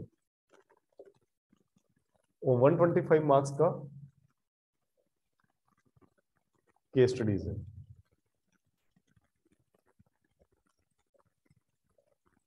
केस स्टडीज़ का मतलब यहाँ पर क्या है? वो आपको सिचुएशंस देंगे। और ये ये काम इंटरव्यू में भी किया जाता है कि आपको सिचुएशंस दी जाती है केस स्टडी दी जाती है। For example you are SP and there is a riot in the town Hindu and Muslims are fighting what you will do like that इस तरह की सिचुएशंस दी जाती है आपको डिफरेंट सिचुएशंस अब एक चीज़ आप समझ लीजिएगा। कि इन केस स्टडीज़ में आप लोगों को इस चीज़ का यूज़ करना थ्योरीज का। अगर आप लोगों का ये पार्ट वीक है तो आप लोग अच्छी आंसर्स नहीं लिख सकते case study right so we need to use theory in the case studies interrelate करना है आप लोगों को, दोनों चीज़ों को। And while writing theory part you need to use examples, which are nothing but case studies जब थ्योरी पार्ट लिखेंगे तो आप लोग आप लोगों को खुद कुछ ऐसी केस स्टडीज़ तैयार करनी होंगी जिसको आप लोग एज एन एग्जांपल यूज़ कर सके। फॉर एग्जांपल इंटीग्रिटी क्वेश्चन में आ गया। व्हाट इज़ इंटीग्रिटी और लाइक दैट तो इंटीग्रिटी क्या होता है आप समझाएँगे साथ में आप लोग एग्ज़ाम्पल भी देंगे this civil servant was an integral ऐसे कोई इंटीग्रिटी वाले सिविल सर्वेंट का एग्ज़ाम्पल भी देंगे आप। कोई केस स्टडी भी मेंशन करेंगे वहाँ पे then your answer will be very good answer right एक और चीज़ इस थ्योरी में हम लोग बहुत सारी चीज़ें पढ़ने वाले हैं। जैसे मैंने आपको बताया कि ethics values attitude aptitude probity everything that will read इसके अलावा हमने मॉरल थिंकर्स भी पढ़ेंगे इसमें। Around twenty thinkers may be more than that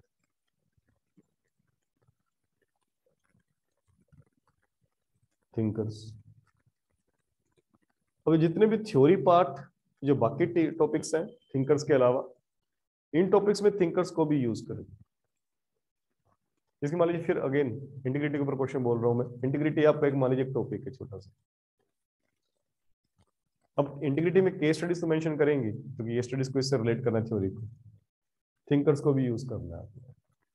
That this thinker is called about uh, talked about integrity और थिंकर्स को केस स्टडीज़ में भी यूज़ करना तो क्यों ना दोबारा स्ट्रक्चर बना लिया जाए? तीन पार्ट में बना लेते हैं। हालाँकि पेपर तो दो पार्ट में ही आएगा। थ्योरी एंड केस स्टडीज़ लेकिन थ्योरी में एक टॉपिक है मॉरल थिंकर्स ये थिंकर्स भी दोनों जगह यूज़ करने हैं आप लोग कहने का मतलब ये है right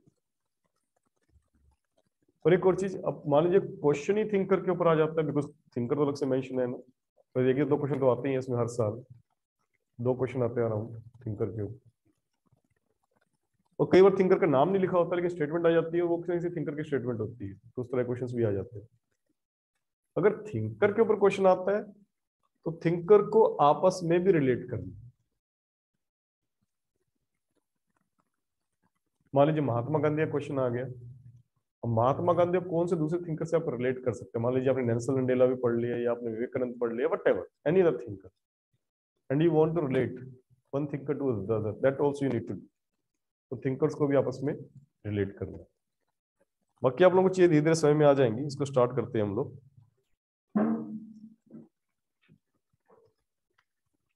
Because as I told you 150 marks लाने का सिर्फ़ पढ़ने से नहीं आएँगे। अगर आप सोचेंगे कि हमने कंटेंट दे दूँगा, मैं आपको नोट्स बना लेंगे आप लोग उसको पढ़ने से 150 मार्क्स आ जाएँगे। No no.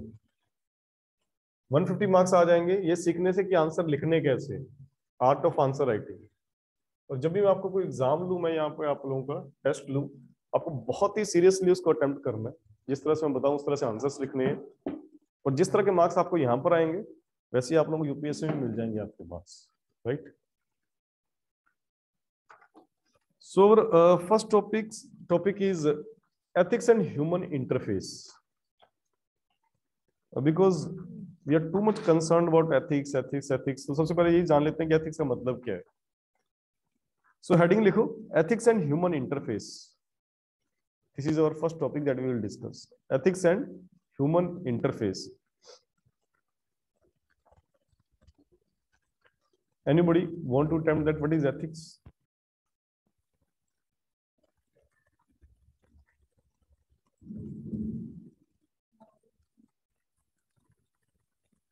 moral principles. What kind of moral principles?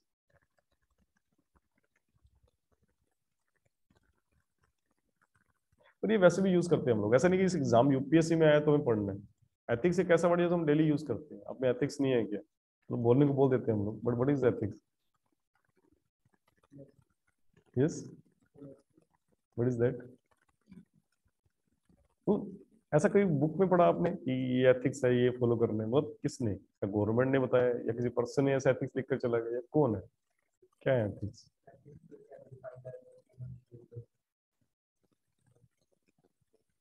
मतलब then that means human behaviour can be negative and positive that means ethics can be negative and positive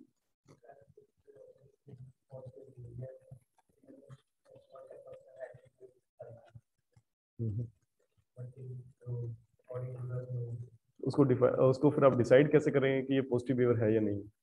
obviously किसे डिसाइड करेंगे?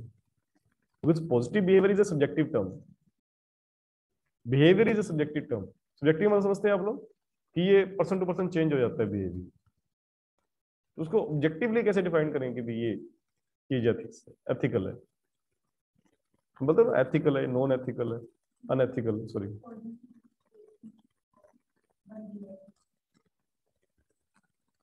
that is aptitude जो भी पढ़ने वाले हैं आगे चल के हम लोग।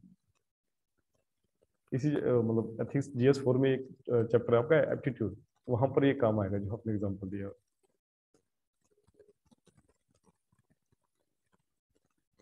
Yes. मतलब अभी मैं एग्जामिनेशन पॉइंट ऑफ़ व्यू से नहीं लेमन लैंग्वेज पूछ रहा हूँ लाइक क्या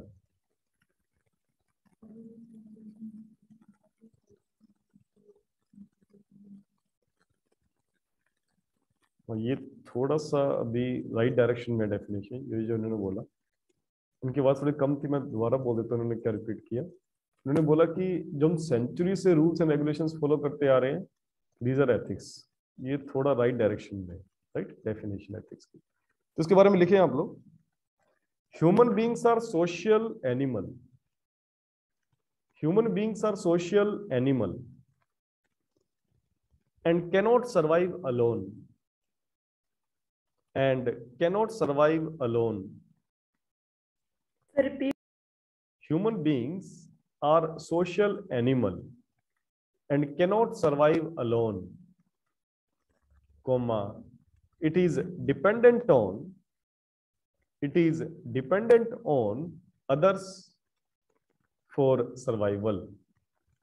It is dependent on others for survival.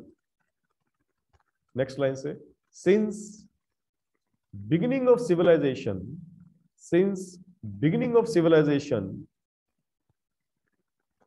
humans have lived in groups humans have lived in groups. For survival humans divided their work. For survival humans divided their work. This uh, led to led this led to division of work. This led to division of work next line से लिखो। To live in groups to live in groups various norms rules and regulation to live in groups various norms rules and regulation were formed rules and regulation were formed.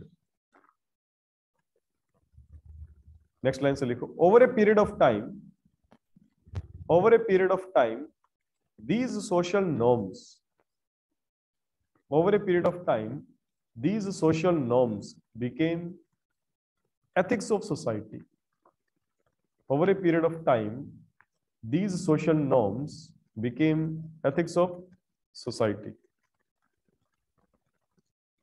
next line से लिखो। It was the self interest it was the self interest that dominates human behavior. Self interest that dominates human behavior. As humans are selfish by nature as humans are selfish by nature. Over time over time it transforms into over time it transforms into exploitation of others. Over time it transforms into exploitation of others. Ethics are needed ethics are needed to regulate this self interest needed to regulate this self interest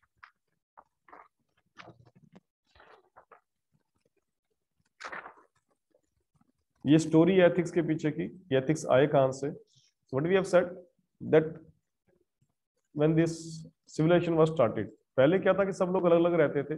They gather their own food but after that time after some time this primitive people right they started living in groups उन्होंने groups में रहना start कर दिया and not only they started living in groups they also divided their work right and because they divided their work they are now living in groups and that is why they establish certain norms or rules for themselves कि ये person ये काम करेगा ये person ये काम करेगा this is a rule right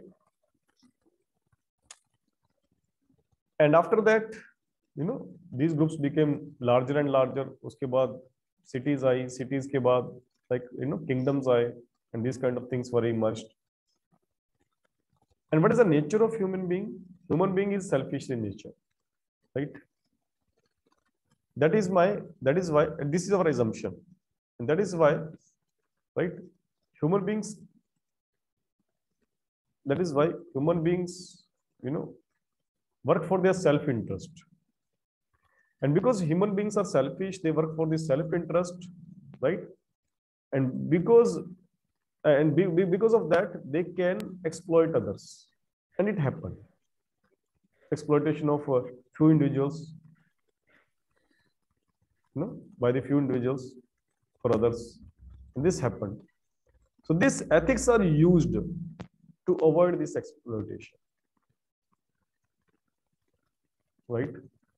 और ये एथिक्स आए कहाँ से हैं बेसिकली जैसे कि आपने बोला था हम सेंचुरी से हम ग्रुप्स में रह रहे हैं और धीरे धीरे हम लोग ने हमारे लिए नॉर्म्स एस्टेब्लिश किए and that is how ethics form मतलब आज एकदम से मान लीजिए गवर्नमेंट एक लॉ बनाती है राइट कि सपोज़ uh, कि आपको इतनी स्पीड से ज़्यादा ट्रेवल नहीं करना। It cannot be called as ethics इसको एथिक्स नहीं बोला जा सकता। बिकॉज़ एथिक्स बहुत लंबे टाइम से जो मनते आ रहे हैं उसको एथिक्स बोला जाए। समझ में आया आप लोगों को अभी? So norms rules and regulation are called ethics but what kind of norms and rules and regulation which are found by the people themselves for them in this long period of time और ethics का use क्या है? अगर एक लाइन में बोलूँ, what is use of ethics to regulate negative behaviour of human being और कैसे रेगुलेट करेंगे? फॉर एग्जांपल मान लीजिए कोई Jain family right and they are not eating the non veg thing तो जैसे ही कोई मान लीजिए कोई उनके जो नई जनरेशन है और मान लीजिए वो उसको नहीं पता तो उनको भर दिया तो दिमाग में like this is these are of ethic these are of ethics उनको लग रहा है कि ये नॉन uh, वेज ना करें राइट तो उनको बोले थे like you are we are vegetarian we are belong to the Jain religion like that so सिर्फ़ उस पर्सन का बिहेवियर को रेगुलेट कर रहे हैं। हो सकता है कि उसका पर्सन का होता है वो नॉनवेज ले ले बट उसके पेरेंट्स उसके बिहेवियर को रेगुलेट करेंगे यूजिंग एथिक्स राइट जैसे कि एक और एग्जांपल देता हूँ मैं आप लोगों को। जैसे कि इंडियंस के बारे में बोला जाता है कि that Indians are loyal to salt अगर मैं हिंदी में बोलूँ तो नमक हलाल राइट ऐसा बोला जाता है। ऐसा बोल सकते हैं कि this is an ethics for Indians Right this is ethics for Indians या मे लॉयल टू सॉल्ट और हमारे पास ऐसा एग्जाम्पल भी है although britishers were exploiting Indians still the police that was Indians that was hired by the Britishers served the British people. Why? Because Indian police at that time was loyal to their salt. Because British were paying them. उनका पेट भरते थे and that is why they were loyal to Britishers ये example है। अच्छा एक बात और बताओ आप लोगों को भी। क्या एथिक्स सब जगह सेम होंगे पूरे वर्ल्ड में? या अलग अलग होंगे? It could be different definitely. It depends on society what kind of society it is right? So because uh, it was established within group. वो ग्रुप डिपेंड करता है कि किस कल्चर में बिलोंग करता है। So ethics could be different जिसमें एक और एग्जांपल देता हूँ आप लोगों को। क्योंकि यहाँ पर एथिक्स में एग्ज़ाम्पल ही काम में आएँगे आप लोगों ले देखे आप लोगों को पता है। जो आंसर राइट करोगे तो ये सब एग्ज़ाम्पल आपको याद आएँगे। देखिए मैकडोनल्ड में बर्गर सब खाते होंगे। सबने खाया I hope right so McDonald is not a company that it is not part of Indian culture ये एक वेस्टर्नाइज कल्चर में कोई फ़ूड प्रोडक्ट आया हमारे इंडिया में and we adopted it but McDonald and Navratra को लेके हम लोग सारे आई मीन सेंटिमेंटल है। दैट मीन्स चाहे वो कितना भी कोई कैसा भी हो, लेकिन नवरात्र को लेकर like okay we should not take alcohol we should not take non vegetarian ऐसा लोग हो जाते हैं। भले हम फास्ट नहीं रखते राइट या ओनियन छोड़ देना नवरात्रा में। That happens in Indian culture and McDonald after coming in India when there was Navratra period तो उन्होंने अपने not every McDonald like yes, but in certain pockets in india uh, they did not sell non-veg burgers in navratras why because mcdonald respected indian ethics that means ethics are contextual मान लीजिए question आ गया आपके exam में ethics are contextual in nature comment ये question आ गया इसका आंसर क्या contextual का मतलब it depends it varies from culture to culture तो उसमें आप ये एग्जांपल दे सकते हैं कि यूएसए में नॉन वेज खाना it's not part of vegetarian खाना that's not part of their ethics right but India yes, vegetarianism is a part of ethics in certain festivals, in certain sections of people like that. समझ में आया आप लोगों को question and answer ये? Okay इस तरह क्वेश्चन आपके एग्ज़ाम में आ सकते हैं। अभी डेफिनेशन लिखो आप लोग एथिक्स की। Ethics are a set of standards. Ethics are a set of standards, comma, customs. Ethics are a set of standards, comma, customs, comma, cultures, values, laws, faiths rules and regulations that are followed by a society. Rules and regulations that are followed by a society. Over a period of time. देखो मैंने ये specifically word mention किया over a period of time मतलब लंबे time से जो बनते हैं ना नोम्स सोसाइटी में वो एथिक्स है और जब भी ये डेफिनेशन लिखें, ये वर्ड ज़रूर लिखें over a period of time if you are mentioning only the standard of norms adopted by the society that is incomplete definition establish over a long period of time और period of time next line में लिखो। Ethics is a code of values ethics is a code of values It is a set of principles it is a set of principles of right conduct. It is a set of principles of right conduct. It is a set of principles of right conduct. What does that mean? अब society ने कुछ principles बना लिए इस principles को हमें follow करना है अब because as I told you that human behaviour is always a negative side कोशिश वो डाइवर्ट होते रहते हैं नेगेटिव साइड में these ethics are used to uh, to combat this deviation right? उनको सही पाथ में लेके आना सही काम करवाना ह्यूमन बीइंग से that is how ethics are used अब आप लोग एक सेकेंड एआरसी की रिपोर्ट है एथिक्स इन गवर्नेंस या तो आप लोग उसको ऑनलाइन मंगवा सकते हैं प्रिंटेड कॉपी मंगवा सकते हैं पीडीएफ इसकी अवेलेबल है राइट इंटरनेट पे। एंड उसका प्रिंट आउट निकलवा सकते हैं, या जिनको जो टेक्स्ट से भी है लैपटॉप से पढ़ना चाहते हैं, वो पढ़ सकते हैं। बट ये शोर्स आप लोग, इसको जितना जल्दी हो सके अपने पास ले आइएगा, उसको पढ़ना स्टार्ट कर देना आप लोग। एथिक्स इन गवर्नेंस लिख लो आप लोग second ARC report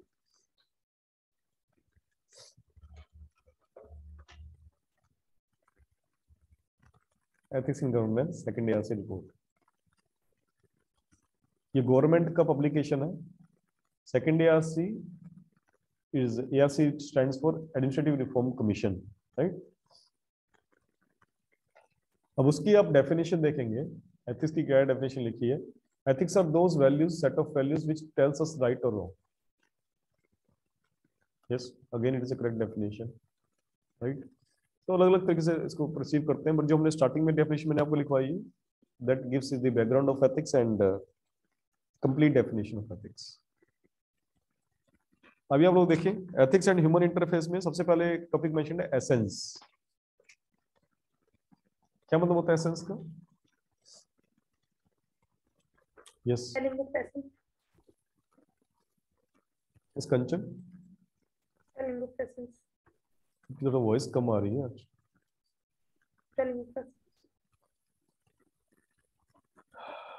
एसेंस मतलब इसको डिकोड करना लाइक मीनिंग क्या है एथिक्स का राइट इसमें लिखो आप लोग। Spelling of essence. Spelling of essence E double S E N C E E double S E N C syllabus आप अपने पास रखे हमेशा। एसेंस की हेडिंग डालो अभी इसमें लिखो आप लोग। Ethics tells us ethics tells us what to do Ethics tells us what to do what to do को अंडरलाइन कर ले इन्वर्टेड कॉमर्स में कर ले tells us what to do. Second, it is concerned with human actions.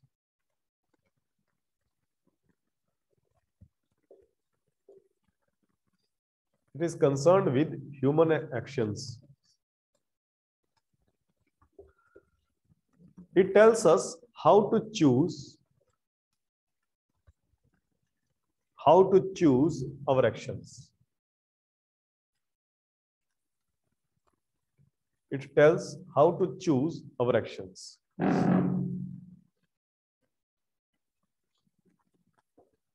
Because every day, every moment, we need to take decisions for ourselves, right? कि मुझे क्या करना चाहिए? यूपीएससी प्रिपरेशन करनी चाहिए नहीं करनी चाहिए?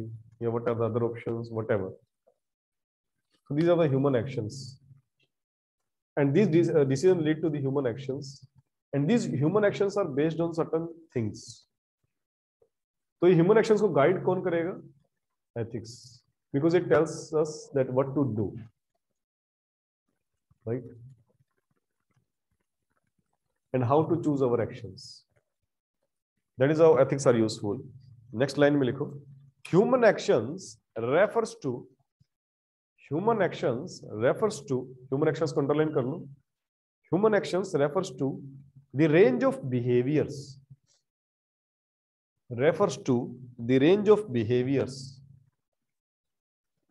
Exhibited by EXHI BITED exhibited by humans and which are influenced by culture and which are influenced by culture comma attitudes emotions, values, ethics, authority,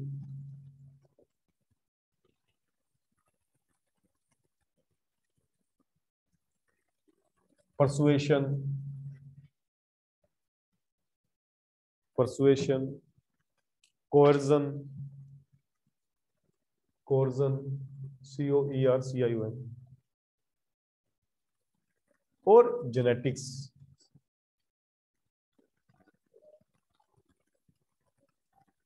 देखिए बिहेवियर भी आपके सिलेबस में, हम लोग ह्यूमन बिहेवियर के बारे में भी पढ़ेंगे। तो हम लोग क्या कहना चाह रहे हैं कि एथिक्स गाइड करते हैं ह्यूमन बिहेवियर को।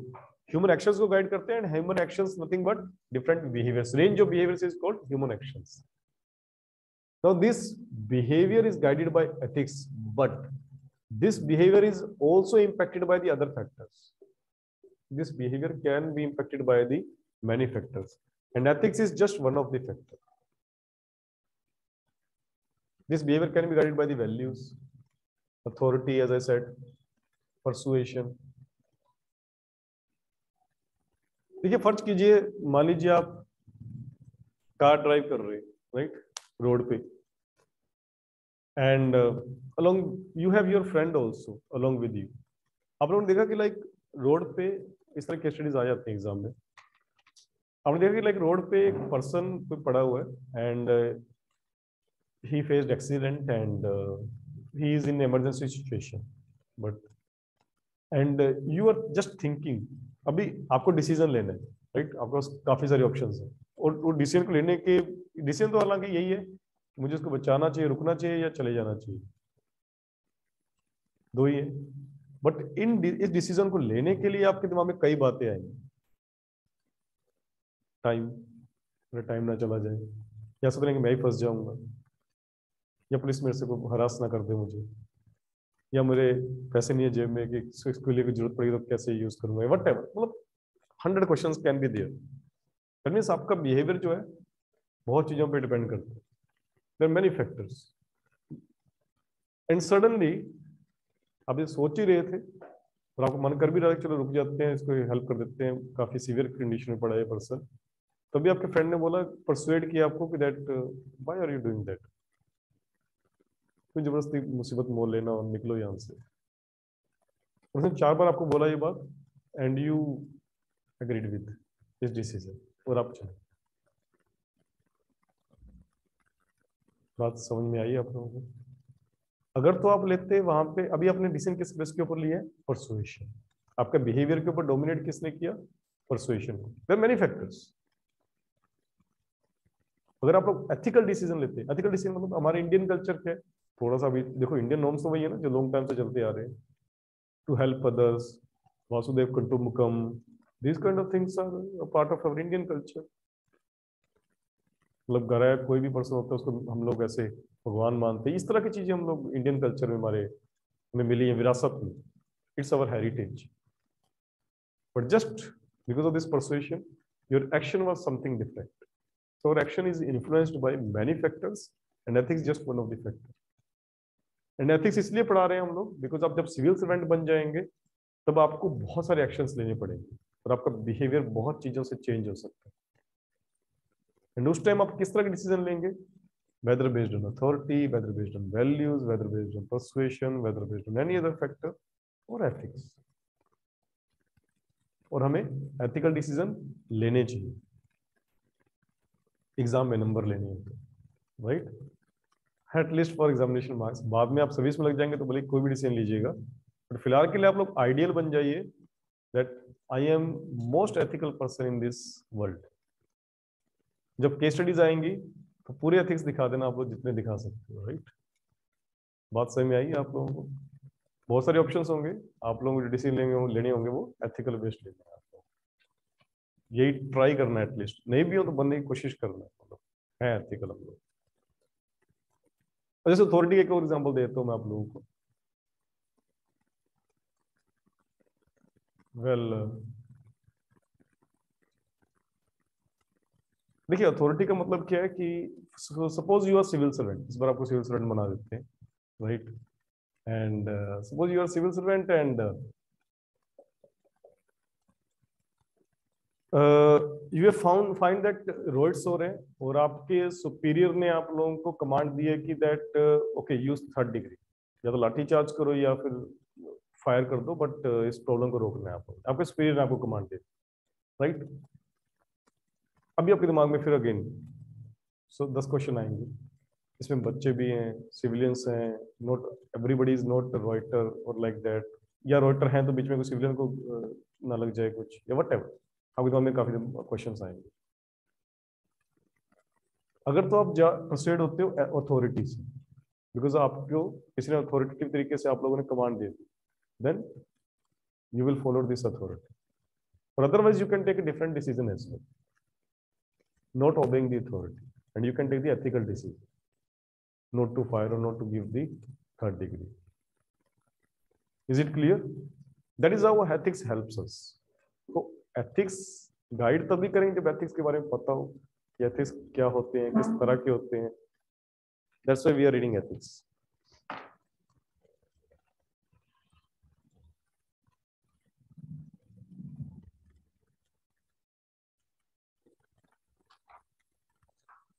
uh,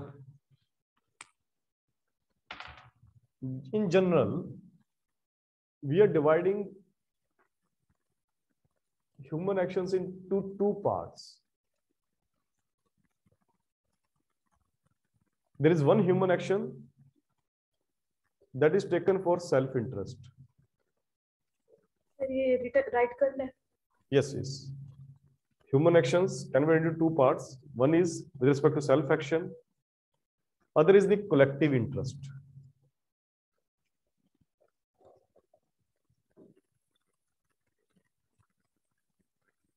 और welfare of society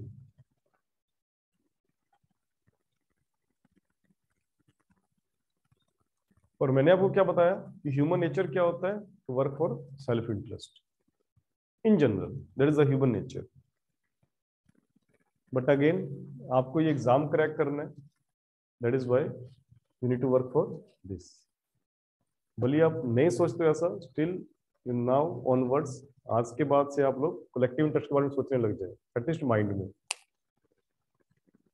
And the welfare of societies तो जब भी कोई केस स्टडी आएगी कि आपको किस तरह का एक्शन लेना है तो आपका एक्शन किस बेस पे होना चाहिए?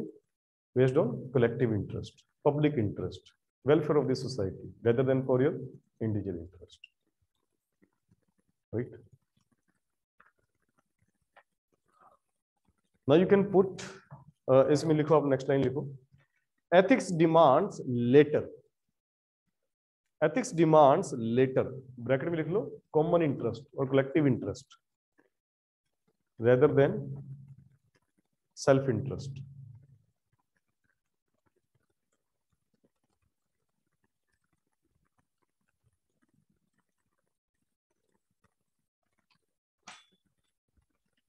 now what is the ek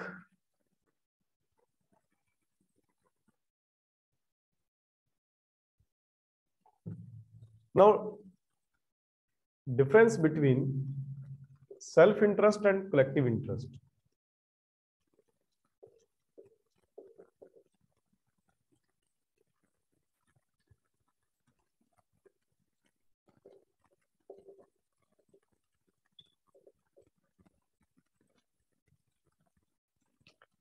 एक तरफ़ लिखो आप लोग self interest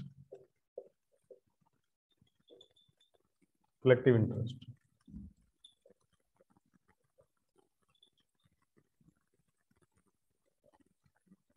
self interest first point. Move towards entropy or you can say positive entropy. Move to move towards positive entropy or simple entropy. That is nothing but leads to destruction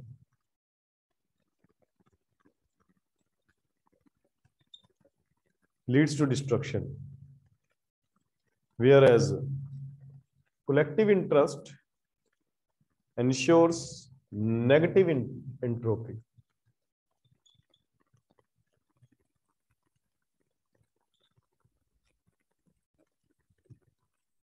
Ensures negative entropy.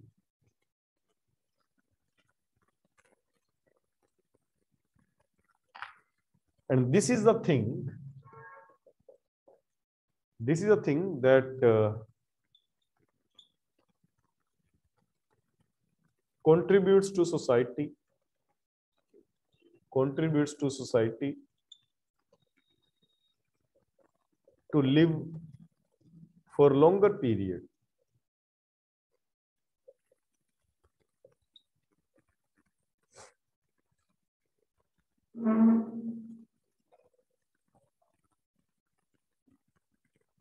right? देखिए, ये जो word है positive entropy negative entropy ये सिर्फ़ ethics में नहीं use हो रहा, बाकी चीज़ों में भी यूज़ हो सकता है ये राइट जेनेरिक वर्ड है। पॉजिटिव एंट्रोपी का मतलब होता है कि लीड्स टू डिस्ट्रक्शन किसी चीज़ को डिस्ट्रक्शन अगर होना है तो उसको बोलते हैं हम लोग पॉजिटिव एंट्रोपी एंड कोई चीज़ डिस्ट्रक्शन नहीं हो रही है कंस्ट्रक्टिव है तो उसको बोलते हैं नेगेटिव एंट्रोपी मतलब उल्टा है। वैसे वर्ड यहाँ पर पॉजिटिव यूज़ हो रहा है, लेकिन ये डिस्ट्रक्शन बोल रहे हैं हम लोग उसको Negative entropy means construction of something. So this self-interest leads to positive entropy or destruction and the uh, collective interest leads to negative entropy or the it uh, ensures the longer life. How? An example. कैसे self interest destruction की ओर लेकर जाएगा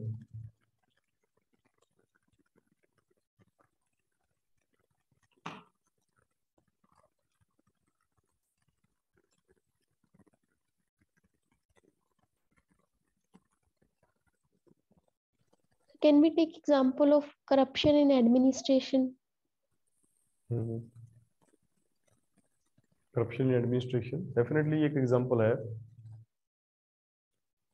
anything else एक question आया था आपके exam में that uh, despite of so many challenges the still hindu religion lived for so long you know it could survive ऐसा एक क्वेश्चन था आपका एग्ज़ाम रिसेंटली एक से दो, दो साल पहले क्वेश्चन आई थिंक आया राइट अब हालाँकि उसमें पॉइंट्स तो बहुत सारे होते हैं और इसी एथिक्स का था भी नहीं वो क्वेश्चन वो किसी जीएस एक तो एक बात आप समझ ले अगर मैं जीएस फोर में कोई कंसेप्ट समझा रहा हूँ इसका मतलब ये कभी मत समझना कि जीएस फोर तक ही है। आप लोगों को अच्छे आंसर लिखने में आपको चारों जीएस पेपर को भी इंटरलिंक करना पड़ेगा। मतलब एथिक्स के पेपर में कुछ और चीज़ें भी देनी पड़ेंगी और बाकी पेपर्स में एथिक्स की चीज़ें भी देनी पड़ेगी। आपस में पेपर्स को भी इंटरलिंक करना है अगर बहुत अच्छे आंसर लिखने हैं राइट सो ये क्वेश्चन आया था आपके एग्ज़ाम में। तो उसमें आप ये पॉइंट भी लिख सकते थे दैट बिकॉज़ इंडियन सोसाइटी और Indian culture was a collective culture joint family culture joint culture and that is why it feels uh, it could uh, मतलब एक वन ऑफ़ द पॉइंट हो सकता है अगर वहाँ पर लिखना चाहते हैं आप लोग। इसका आंसर भी सिंपल है देखिए सेल्फ इंटरेस्ट के लिए कोई पर्सन देखिए इंडियन सोसाइटी में इतना, हम कहते हैं कि India is corrupt country politicians are corrupt bureaucrats are corrupt and there is so much other things are there but still Indian society is prospering What is the reason? Because there are individuals which are also working for the collective interest. अब recent example आपको पता है Covid 19 lockdown का देख लें आप लोग as soon as the COVID lockdown was there and then uh, so many people voluntarily distributed the food the medicine and the other things to the poor people. Because government was failed at that time. Government could not do that at that time. Anything. And apart from that, uh, if you take the example of our Rajasthan, that REIT exam was there, and government said that we are unable to provide the accommodation and the other things to the students. And the center was like that uh, the person from the quota is coming in uh, Shivanganagar. That kind of thing was there. At that time, who took the responsibility? Civil society. Again. To overcome with the problem of this accommodation and everything, fooding and everything. So because this is our part of culture, these, these are our ethics that are still intact. That is why we are living. Right? And there are so many Western countries also which are on, uh, we are leading to destruction. There are Western countries which are leading to destruction. For example, Italy, Greece. These countries are now, you know, economically downtrodden and in every way they are led, led to destruction. In USA, obviously you know many of indians have the dream to go to usa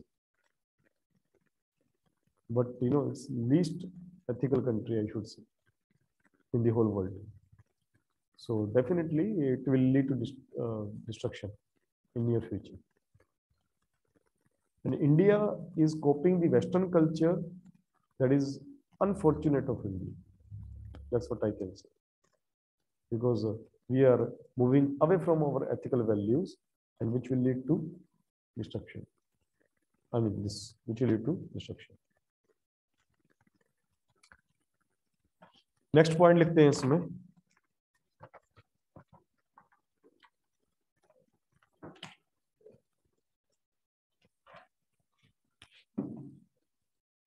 Progress would be less less progress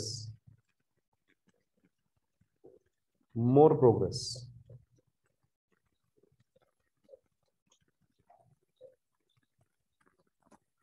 more progress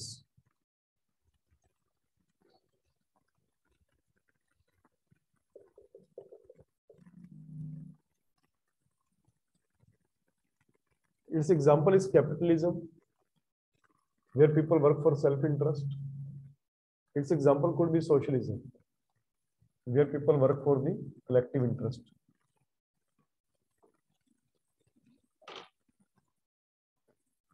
It leads to inequalities in the society. It leads to equality in the society.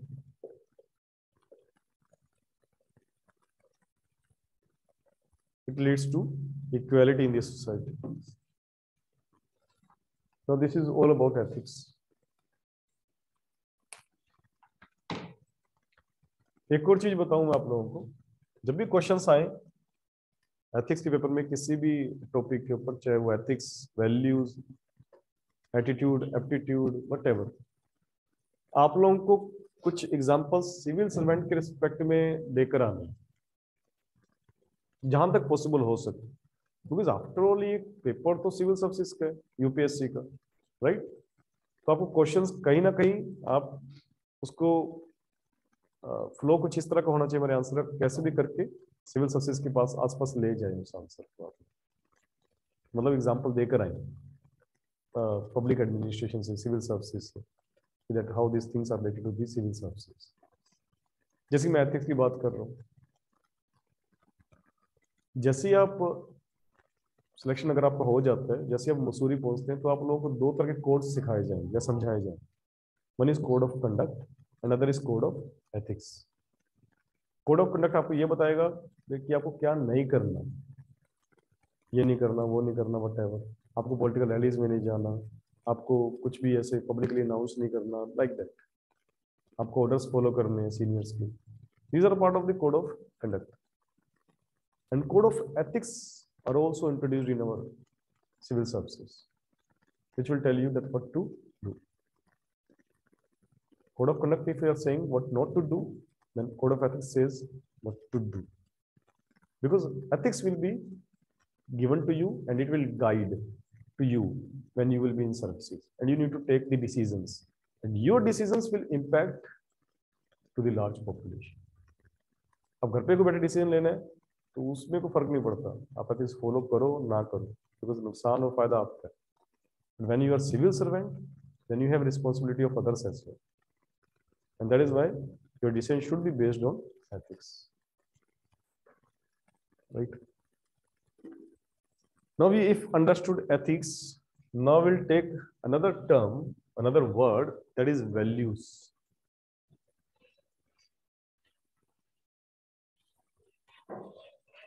Values.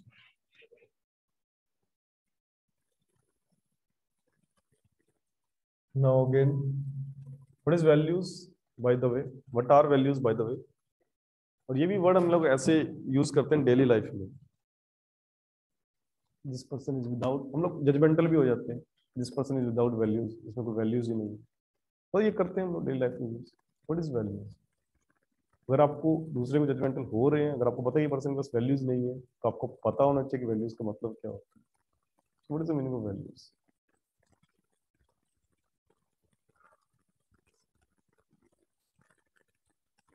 in layman layman language में बताएँ, आप लोग कोई issue नहीं है। जैसा आपको समझ में आता है, वैसा बताएँ। यस प्लीज़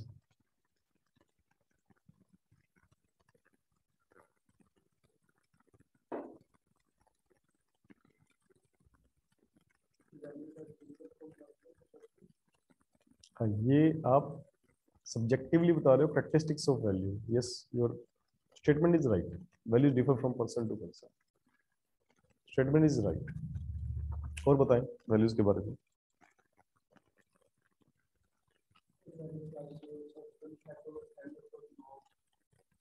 मैंने person set standards and norms हाँ हाँ।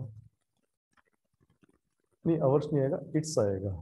मैंने person sets and certain standards and norms for himself or its standards and norms, yes. ये मतलब इंग्लिश मिस्टेक निकाल रहा हूँ मैं आप लोगों को grammatically what ever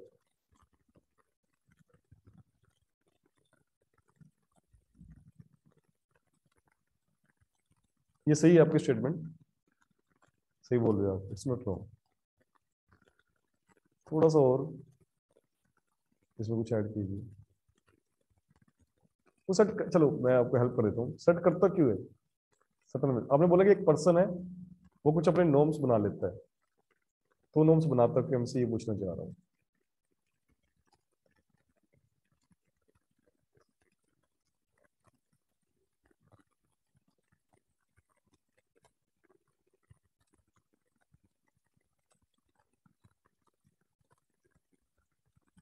Yes, please.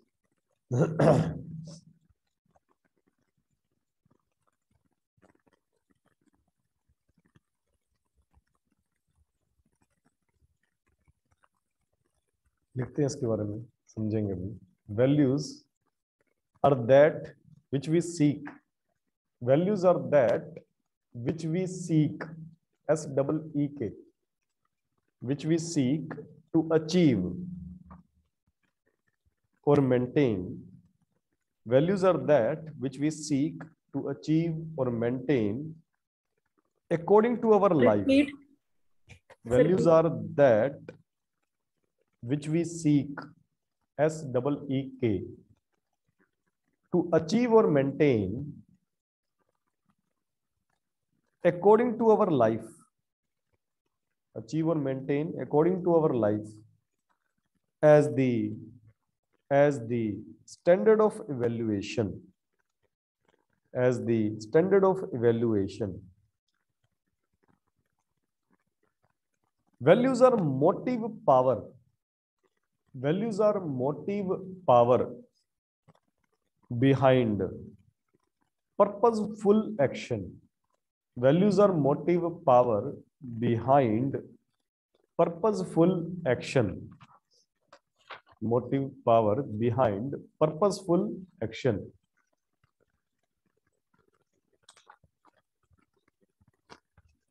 These are the ends, ENDS. These are the ends to which we act. These are the ends to which we act.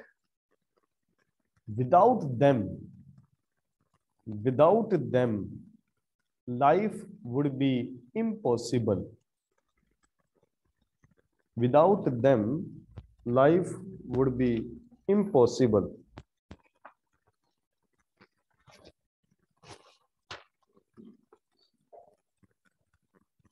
without values without values death would follow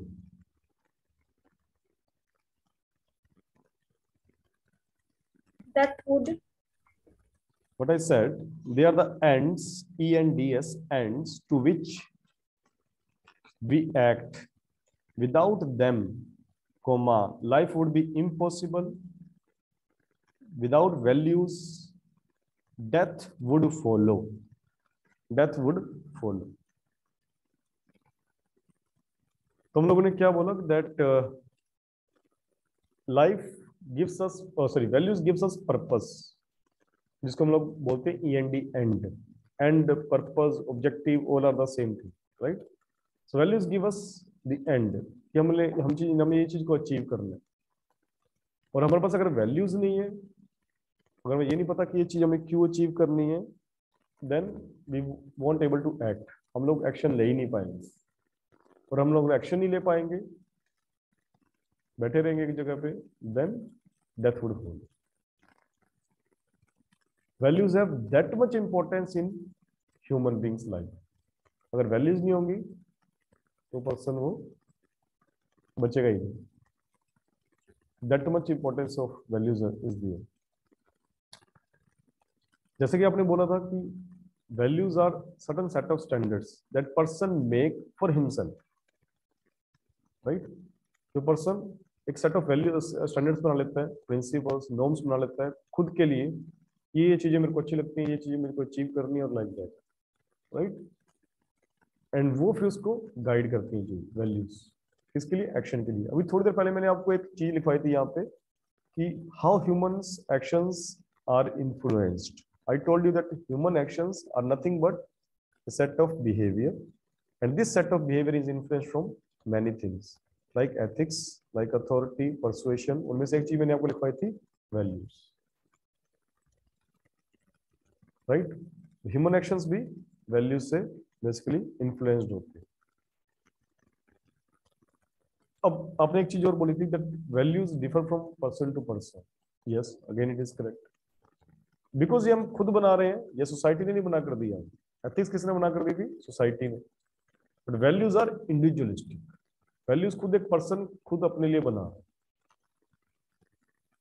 अब ये ethical हो भी सकती हैं and unethical भी हो सकती हैं। पॉजिटिव हो सकती हैं नेगेटिव हो सकती हैं किसी भी तरह की हो सकती है because these are individualistic these are not culture based these are not group based these are totally individualistic. अब मान लीजिए obviously you all all of you are UPSC aspirant right ये काम कीजिए पहले लिख लीजिए उसके बाद एग्जांपल देता हूँ मैं आप लोगों को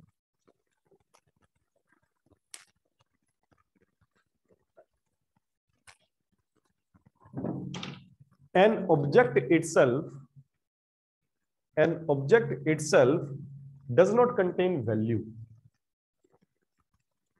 an object itself does not contain value. For example knife for example knife has dual use.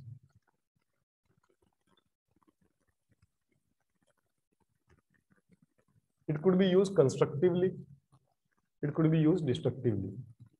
Knife can be used for chopping activities in kitchen knife can be used to murder someone. Definitely. इसका मतलब क्या? Knife के खुद के अंदर कोई value नहीं वो हमारे अंदर वैल्यू है, हमारे माइंड के अंदर वैल्यू है कि नाइफ का यूज़ कैसे करें राइट अब जैसे कुछ स्टूडेंट्स को मैं देखता हूँ लाइक कैसे बोलते हैं like this pen is lucky pen इस पेन को लेकर जाएँगे तो हमारा सिलेक्शन डेफिनेटली होगा। मतलब आप ये कहना चाह रहे हैं कि पेन आंसर सही से लिख देगा वो एग्ज़ाम में जाकर that means pen has the value pen को पता है कि इसको निकलवाना है एग्ज़ाम में। That means this is wrong perception अब ये चीज़ें भी हम लोग पढ़ेंगे इसमें एटीट्यूड में। कैसे हम लोग करते क्यों? मतलब ह्यूमन बिहेवियर के बारे में काफ़ी कुछ पता लगेगा आपको अपने बारे में काफ़ी कुछ पता लगेगा एथिक्स पेपर पढ़ने के बाद हम लोग किस तरह के इंसान और ऐसा करते क्यों ठीक है? काफ़ी मज़ेदार चीज़ें हैं ये, काफ़ी कुछ सीखने को मिलेगा आप लोगों को। सो ऐसा नहीं है ऑब्जेक्ट जो भी होते हैं, चाहे वो मार्कर है, चाहे पेन है, या कोई भी ऑब्जेक्ट है, उसके अंदर वैल्यूज़ नहीं होती। ऑब्जेक्ट वैल्यूज़ के लिए दो चीज़ों की ज़रूरत होती है। One is person and second इज़ the associated goal so can write down so value require two things. So value requires two things person and goal which is rational in nature and goal which is most of the time rational in nature. And values links these two things values links these two things. देखिए, हर person कोई ना कोई गोल होना चाहिए। और उस person को उसके गोल से रिलेट कौन करता है? वैल्यूज़ यू कहें कि एक पर्सन को उसके एंड या गोल या ऑब्जेक्टिव तक कौन पहुंचाता है? Values right so values a kind of linkage between person and a goal अभी आप लोगों को ऐसे समझ में नहीं आएगा ये। अगेन आप लोगों को एग्जांपल देता हूँ मैं। Your own example right UPSC aspirant that is a person अब आपको अपने ऊपर रख के इसको देखिएगा। आप सब लोग पर्सन हो यूपीएससी एस्पायरेंट हो। और आप लोगों का गोल क्या है? पूछने की ज़रूरत है मुझे। What is your goal to crack this exam that is your goal to crack UPSC अगर मैं पूछूँ कि वाई दिस गोल जैसे मैं ये वर्ड पूछूँगा why why UPSC then I would get different answers. Definitely सबने अपने अपने माइंड में कुछ ना कुछ सोचा होगा। कि मुझे इसलिए इस गोल को अचीव करना है। For example one can say money right one can say power one can say fame और रिकॉग्निशन मुझे सब लोग जानेंगे लोग। One can say it it is dream of my father ऐसे आंसर भी मिलेंगे।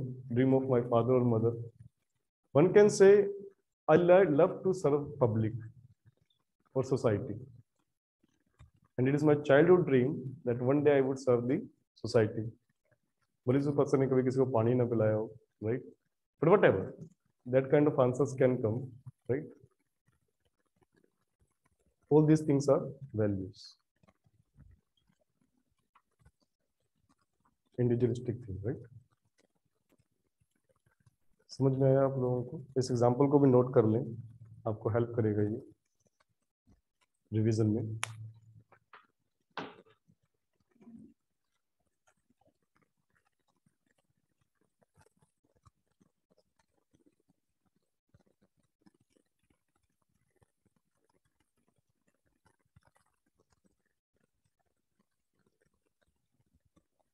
अब एग्ज़ाम में बनाने के लिए कुछ और एग्जांपल ढूंढ लेना आप लोग। ये थोड़ा सा क्रूड हो सकता है एग्ज़ाम्पल जस्ट मैंने आपको इसलिए दिया कि आप लोग को इजिली अंडरस्टूड है आपको। हालाँकि दे सकते हैं, ऐसी बात नहीं कि एग्जांपल ऐसे देंगे, कुछ मार्क्स कटेंगे but I am saying like आप बेटर एग्ज़ाम्पल दे सकते हैं।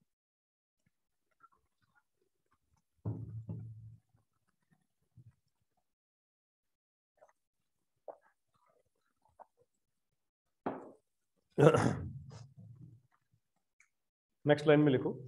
values are individualistic. Values are individualistic. And varies from?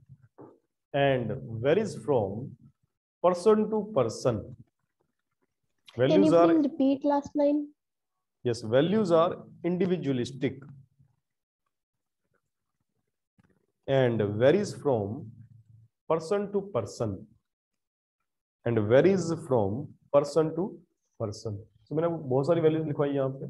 So it depends who is this person right according the values can change but goal could be same मतलब इस class में अगर बात करूँ तो सबका गोल सेम है। Goal could be same but values change with the change of person right now, we'll differentiate between values and ethics. अब आपको लग रहा होगा कि दोनों एक जैसी चीज़ें हैं but yes there is difference हालाँकि आप लोगों को डिफरेंस भी समझ में आ चुका है अभी तक। बट स्टिल इस तरह के क्वेश्चन भी आपके एग्ज़ाम में आ सकते हैं। Values versus ethics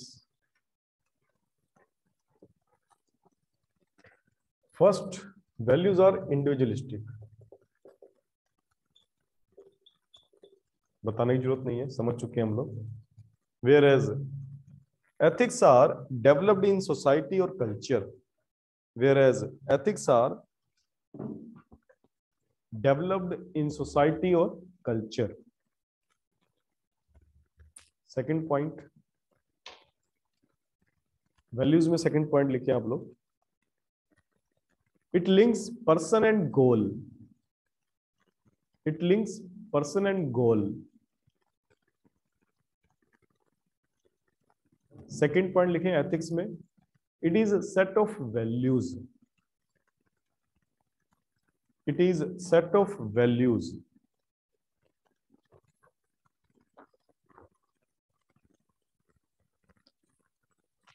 it is set of value अब कंफ्यूज नहीं होना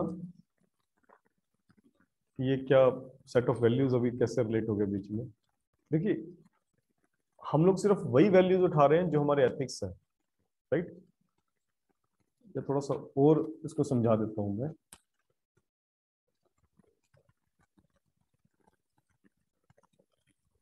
जिनको मैथ्स ज़्यादा समझ आती है। If you make a Venn diagram तो वैल्यू बड़ा सर्किल है और एथिक्स इसका सबसेट है। मतलब जो एथिकल चीज़ें नहीं भी हैं, वो वैल्यूज़ हो सकते हैं किसी के लिए, लेकिन उनमें से सिर्फ़ जो पॉजिटिव वैल्यूज़ है, जो सोसाइटी ने अपने लिए बनाई है that could be ethics So it is a set of values. So मैं यूँ कहूँ that ethics, all ethics are values. ये statement सही है, but all values are not ethics. समझ में आया आप लोगों को?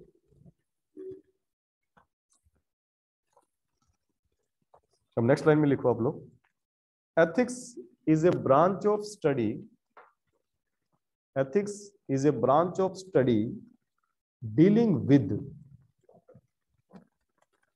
dealing with what is the proper course of action. Ethics is a branch of study. Dealing with what is the proper course of action for humans. Ethics is a branch of study. Dealing with what is the proper course of action for humans. It is the study of right and wrong it is the study of right and wrong.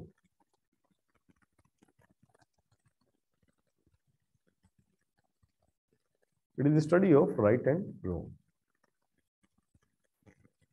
अब देखिए मान लीजिए एक planet है वो planet है, और उसके ऊपर एकदम से ग्रुप आगे रहने लग गए कोई राइट मतलब उन्होंने सदियों से नहीं रह रहे थे, उनके पास कोई हेरिटेज नहीं है, जिन्होंने कोई किसी को सिखाया हो right so who will guide them what is right and wrong वो कुछ भी करें like there is no no right and wrong in that but we lived in groups for you know not only centuries we lived in groups uh, you know, for thousands of years and that is why we have developed certain kind of norms and uh, it guides us that what need to do and what should not do इसका मतलब ये कह सकते हैं कि guide हमें कौन कर रहे हैं? हमारे एंसेस्टर्स हमें गाइड कर रहे हैं। बिकॉज़ हमारे लिए वो रूल्स एंड नॉर्म्स छोड़ते भी है। ये हमारा हेरिटेज है। That is history is also important इसलिए हम हिस्ट्री पढ़ते हैं। Guides everything. So आज तक के लिए इतना ही। Right right? इसको थोड़ा सा और डिकोड करेंगे। कई बार क्या होता है कि स्टूडेंट्स इसमें कंफ्यूज हो जाते हैं कि वैल्यूज़ और एथिक्स एक ही चीज़ है, क्या डिफरेंस है? फिर एक वर्ड होता है मोरल्स हम बोलते रहते हैं कि मोरल्स आपके अंदर है या नहीं अब कल बात करेंगे आपसे कि मोरल्स आपके अंदर है या नहीं राइट सो वट एवर तो डिफरेंशिएट भी करेंगे कैसे अलग है एथिक्स और morals right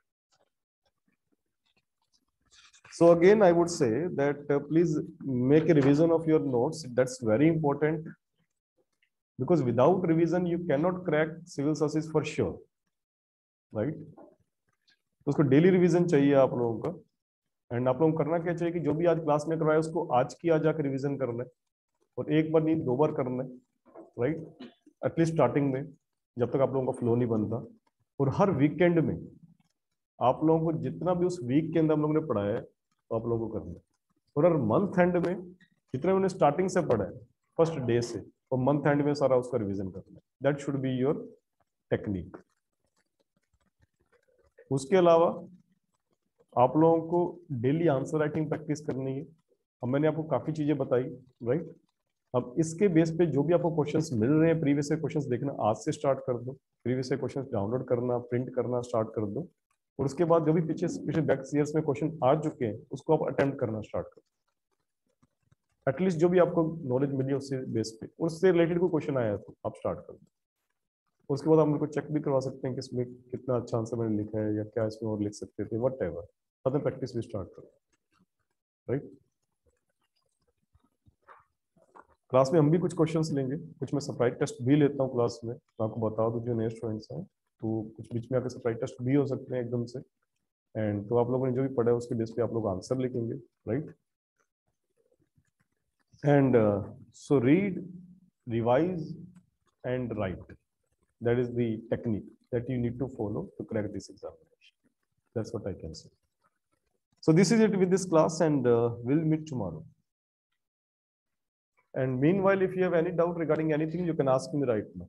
एक और चीज़ जो नए स्टूडेंट्स हैं खासकर उनके लिए बताऊँ मैं कि आपको डाउट पूछने के लिए हेजिटेट नहीं करना if you want to ask the hundred times the same doubt I will answer you but doubt को घर पे मत लेकर जाए because it will be disastrous आपको नुकसान होने वाला है, किसी को नहीं होने वाला जितना भी डाउट आपके दिमाग में है, चाहे कितना भी पेचीदा डाउट है आपको लगता है कि सब लोग हंसेंगे तो हंसने दो। बिकॉज़ आपको अपने एग्ज़ाम क्रैक करना, अपने गोल को देखो that's it so that's what i can say. So this is it with this class and we'll meet tomorrow.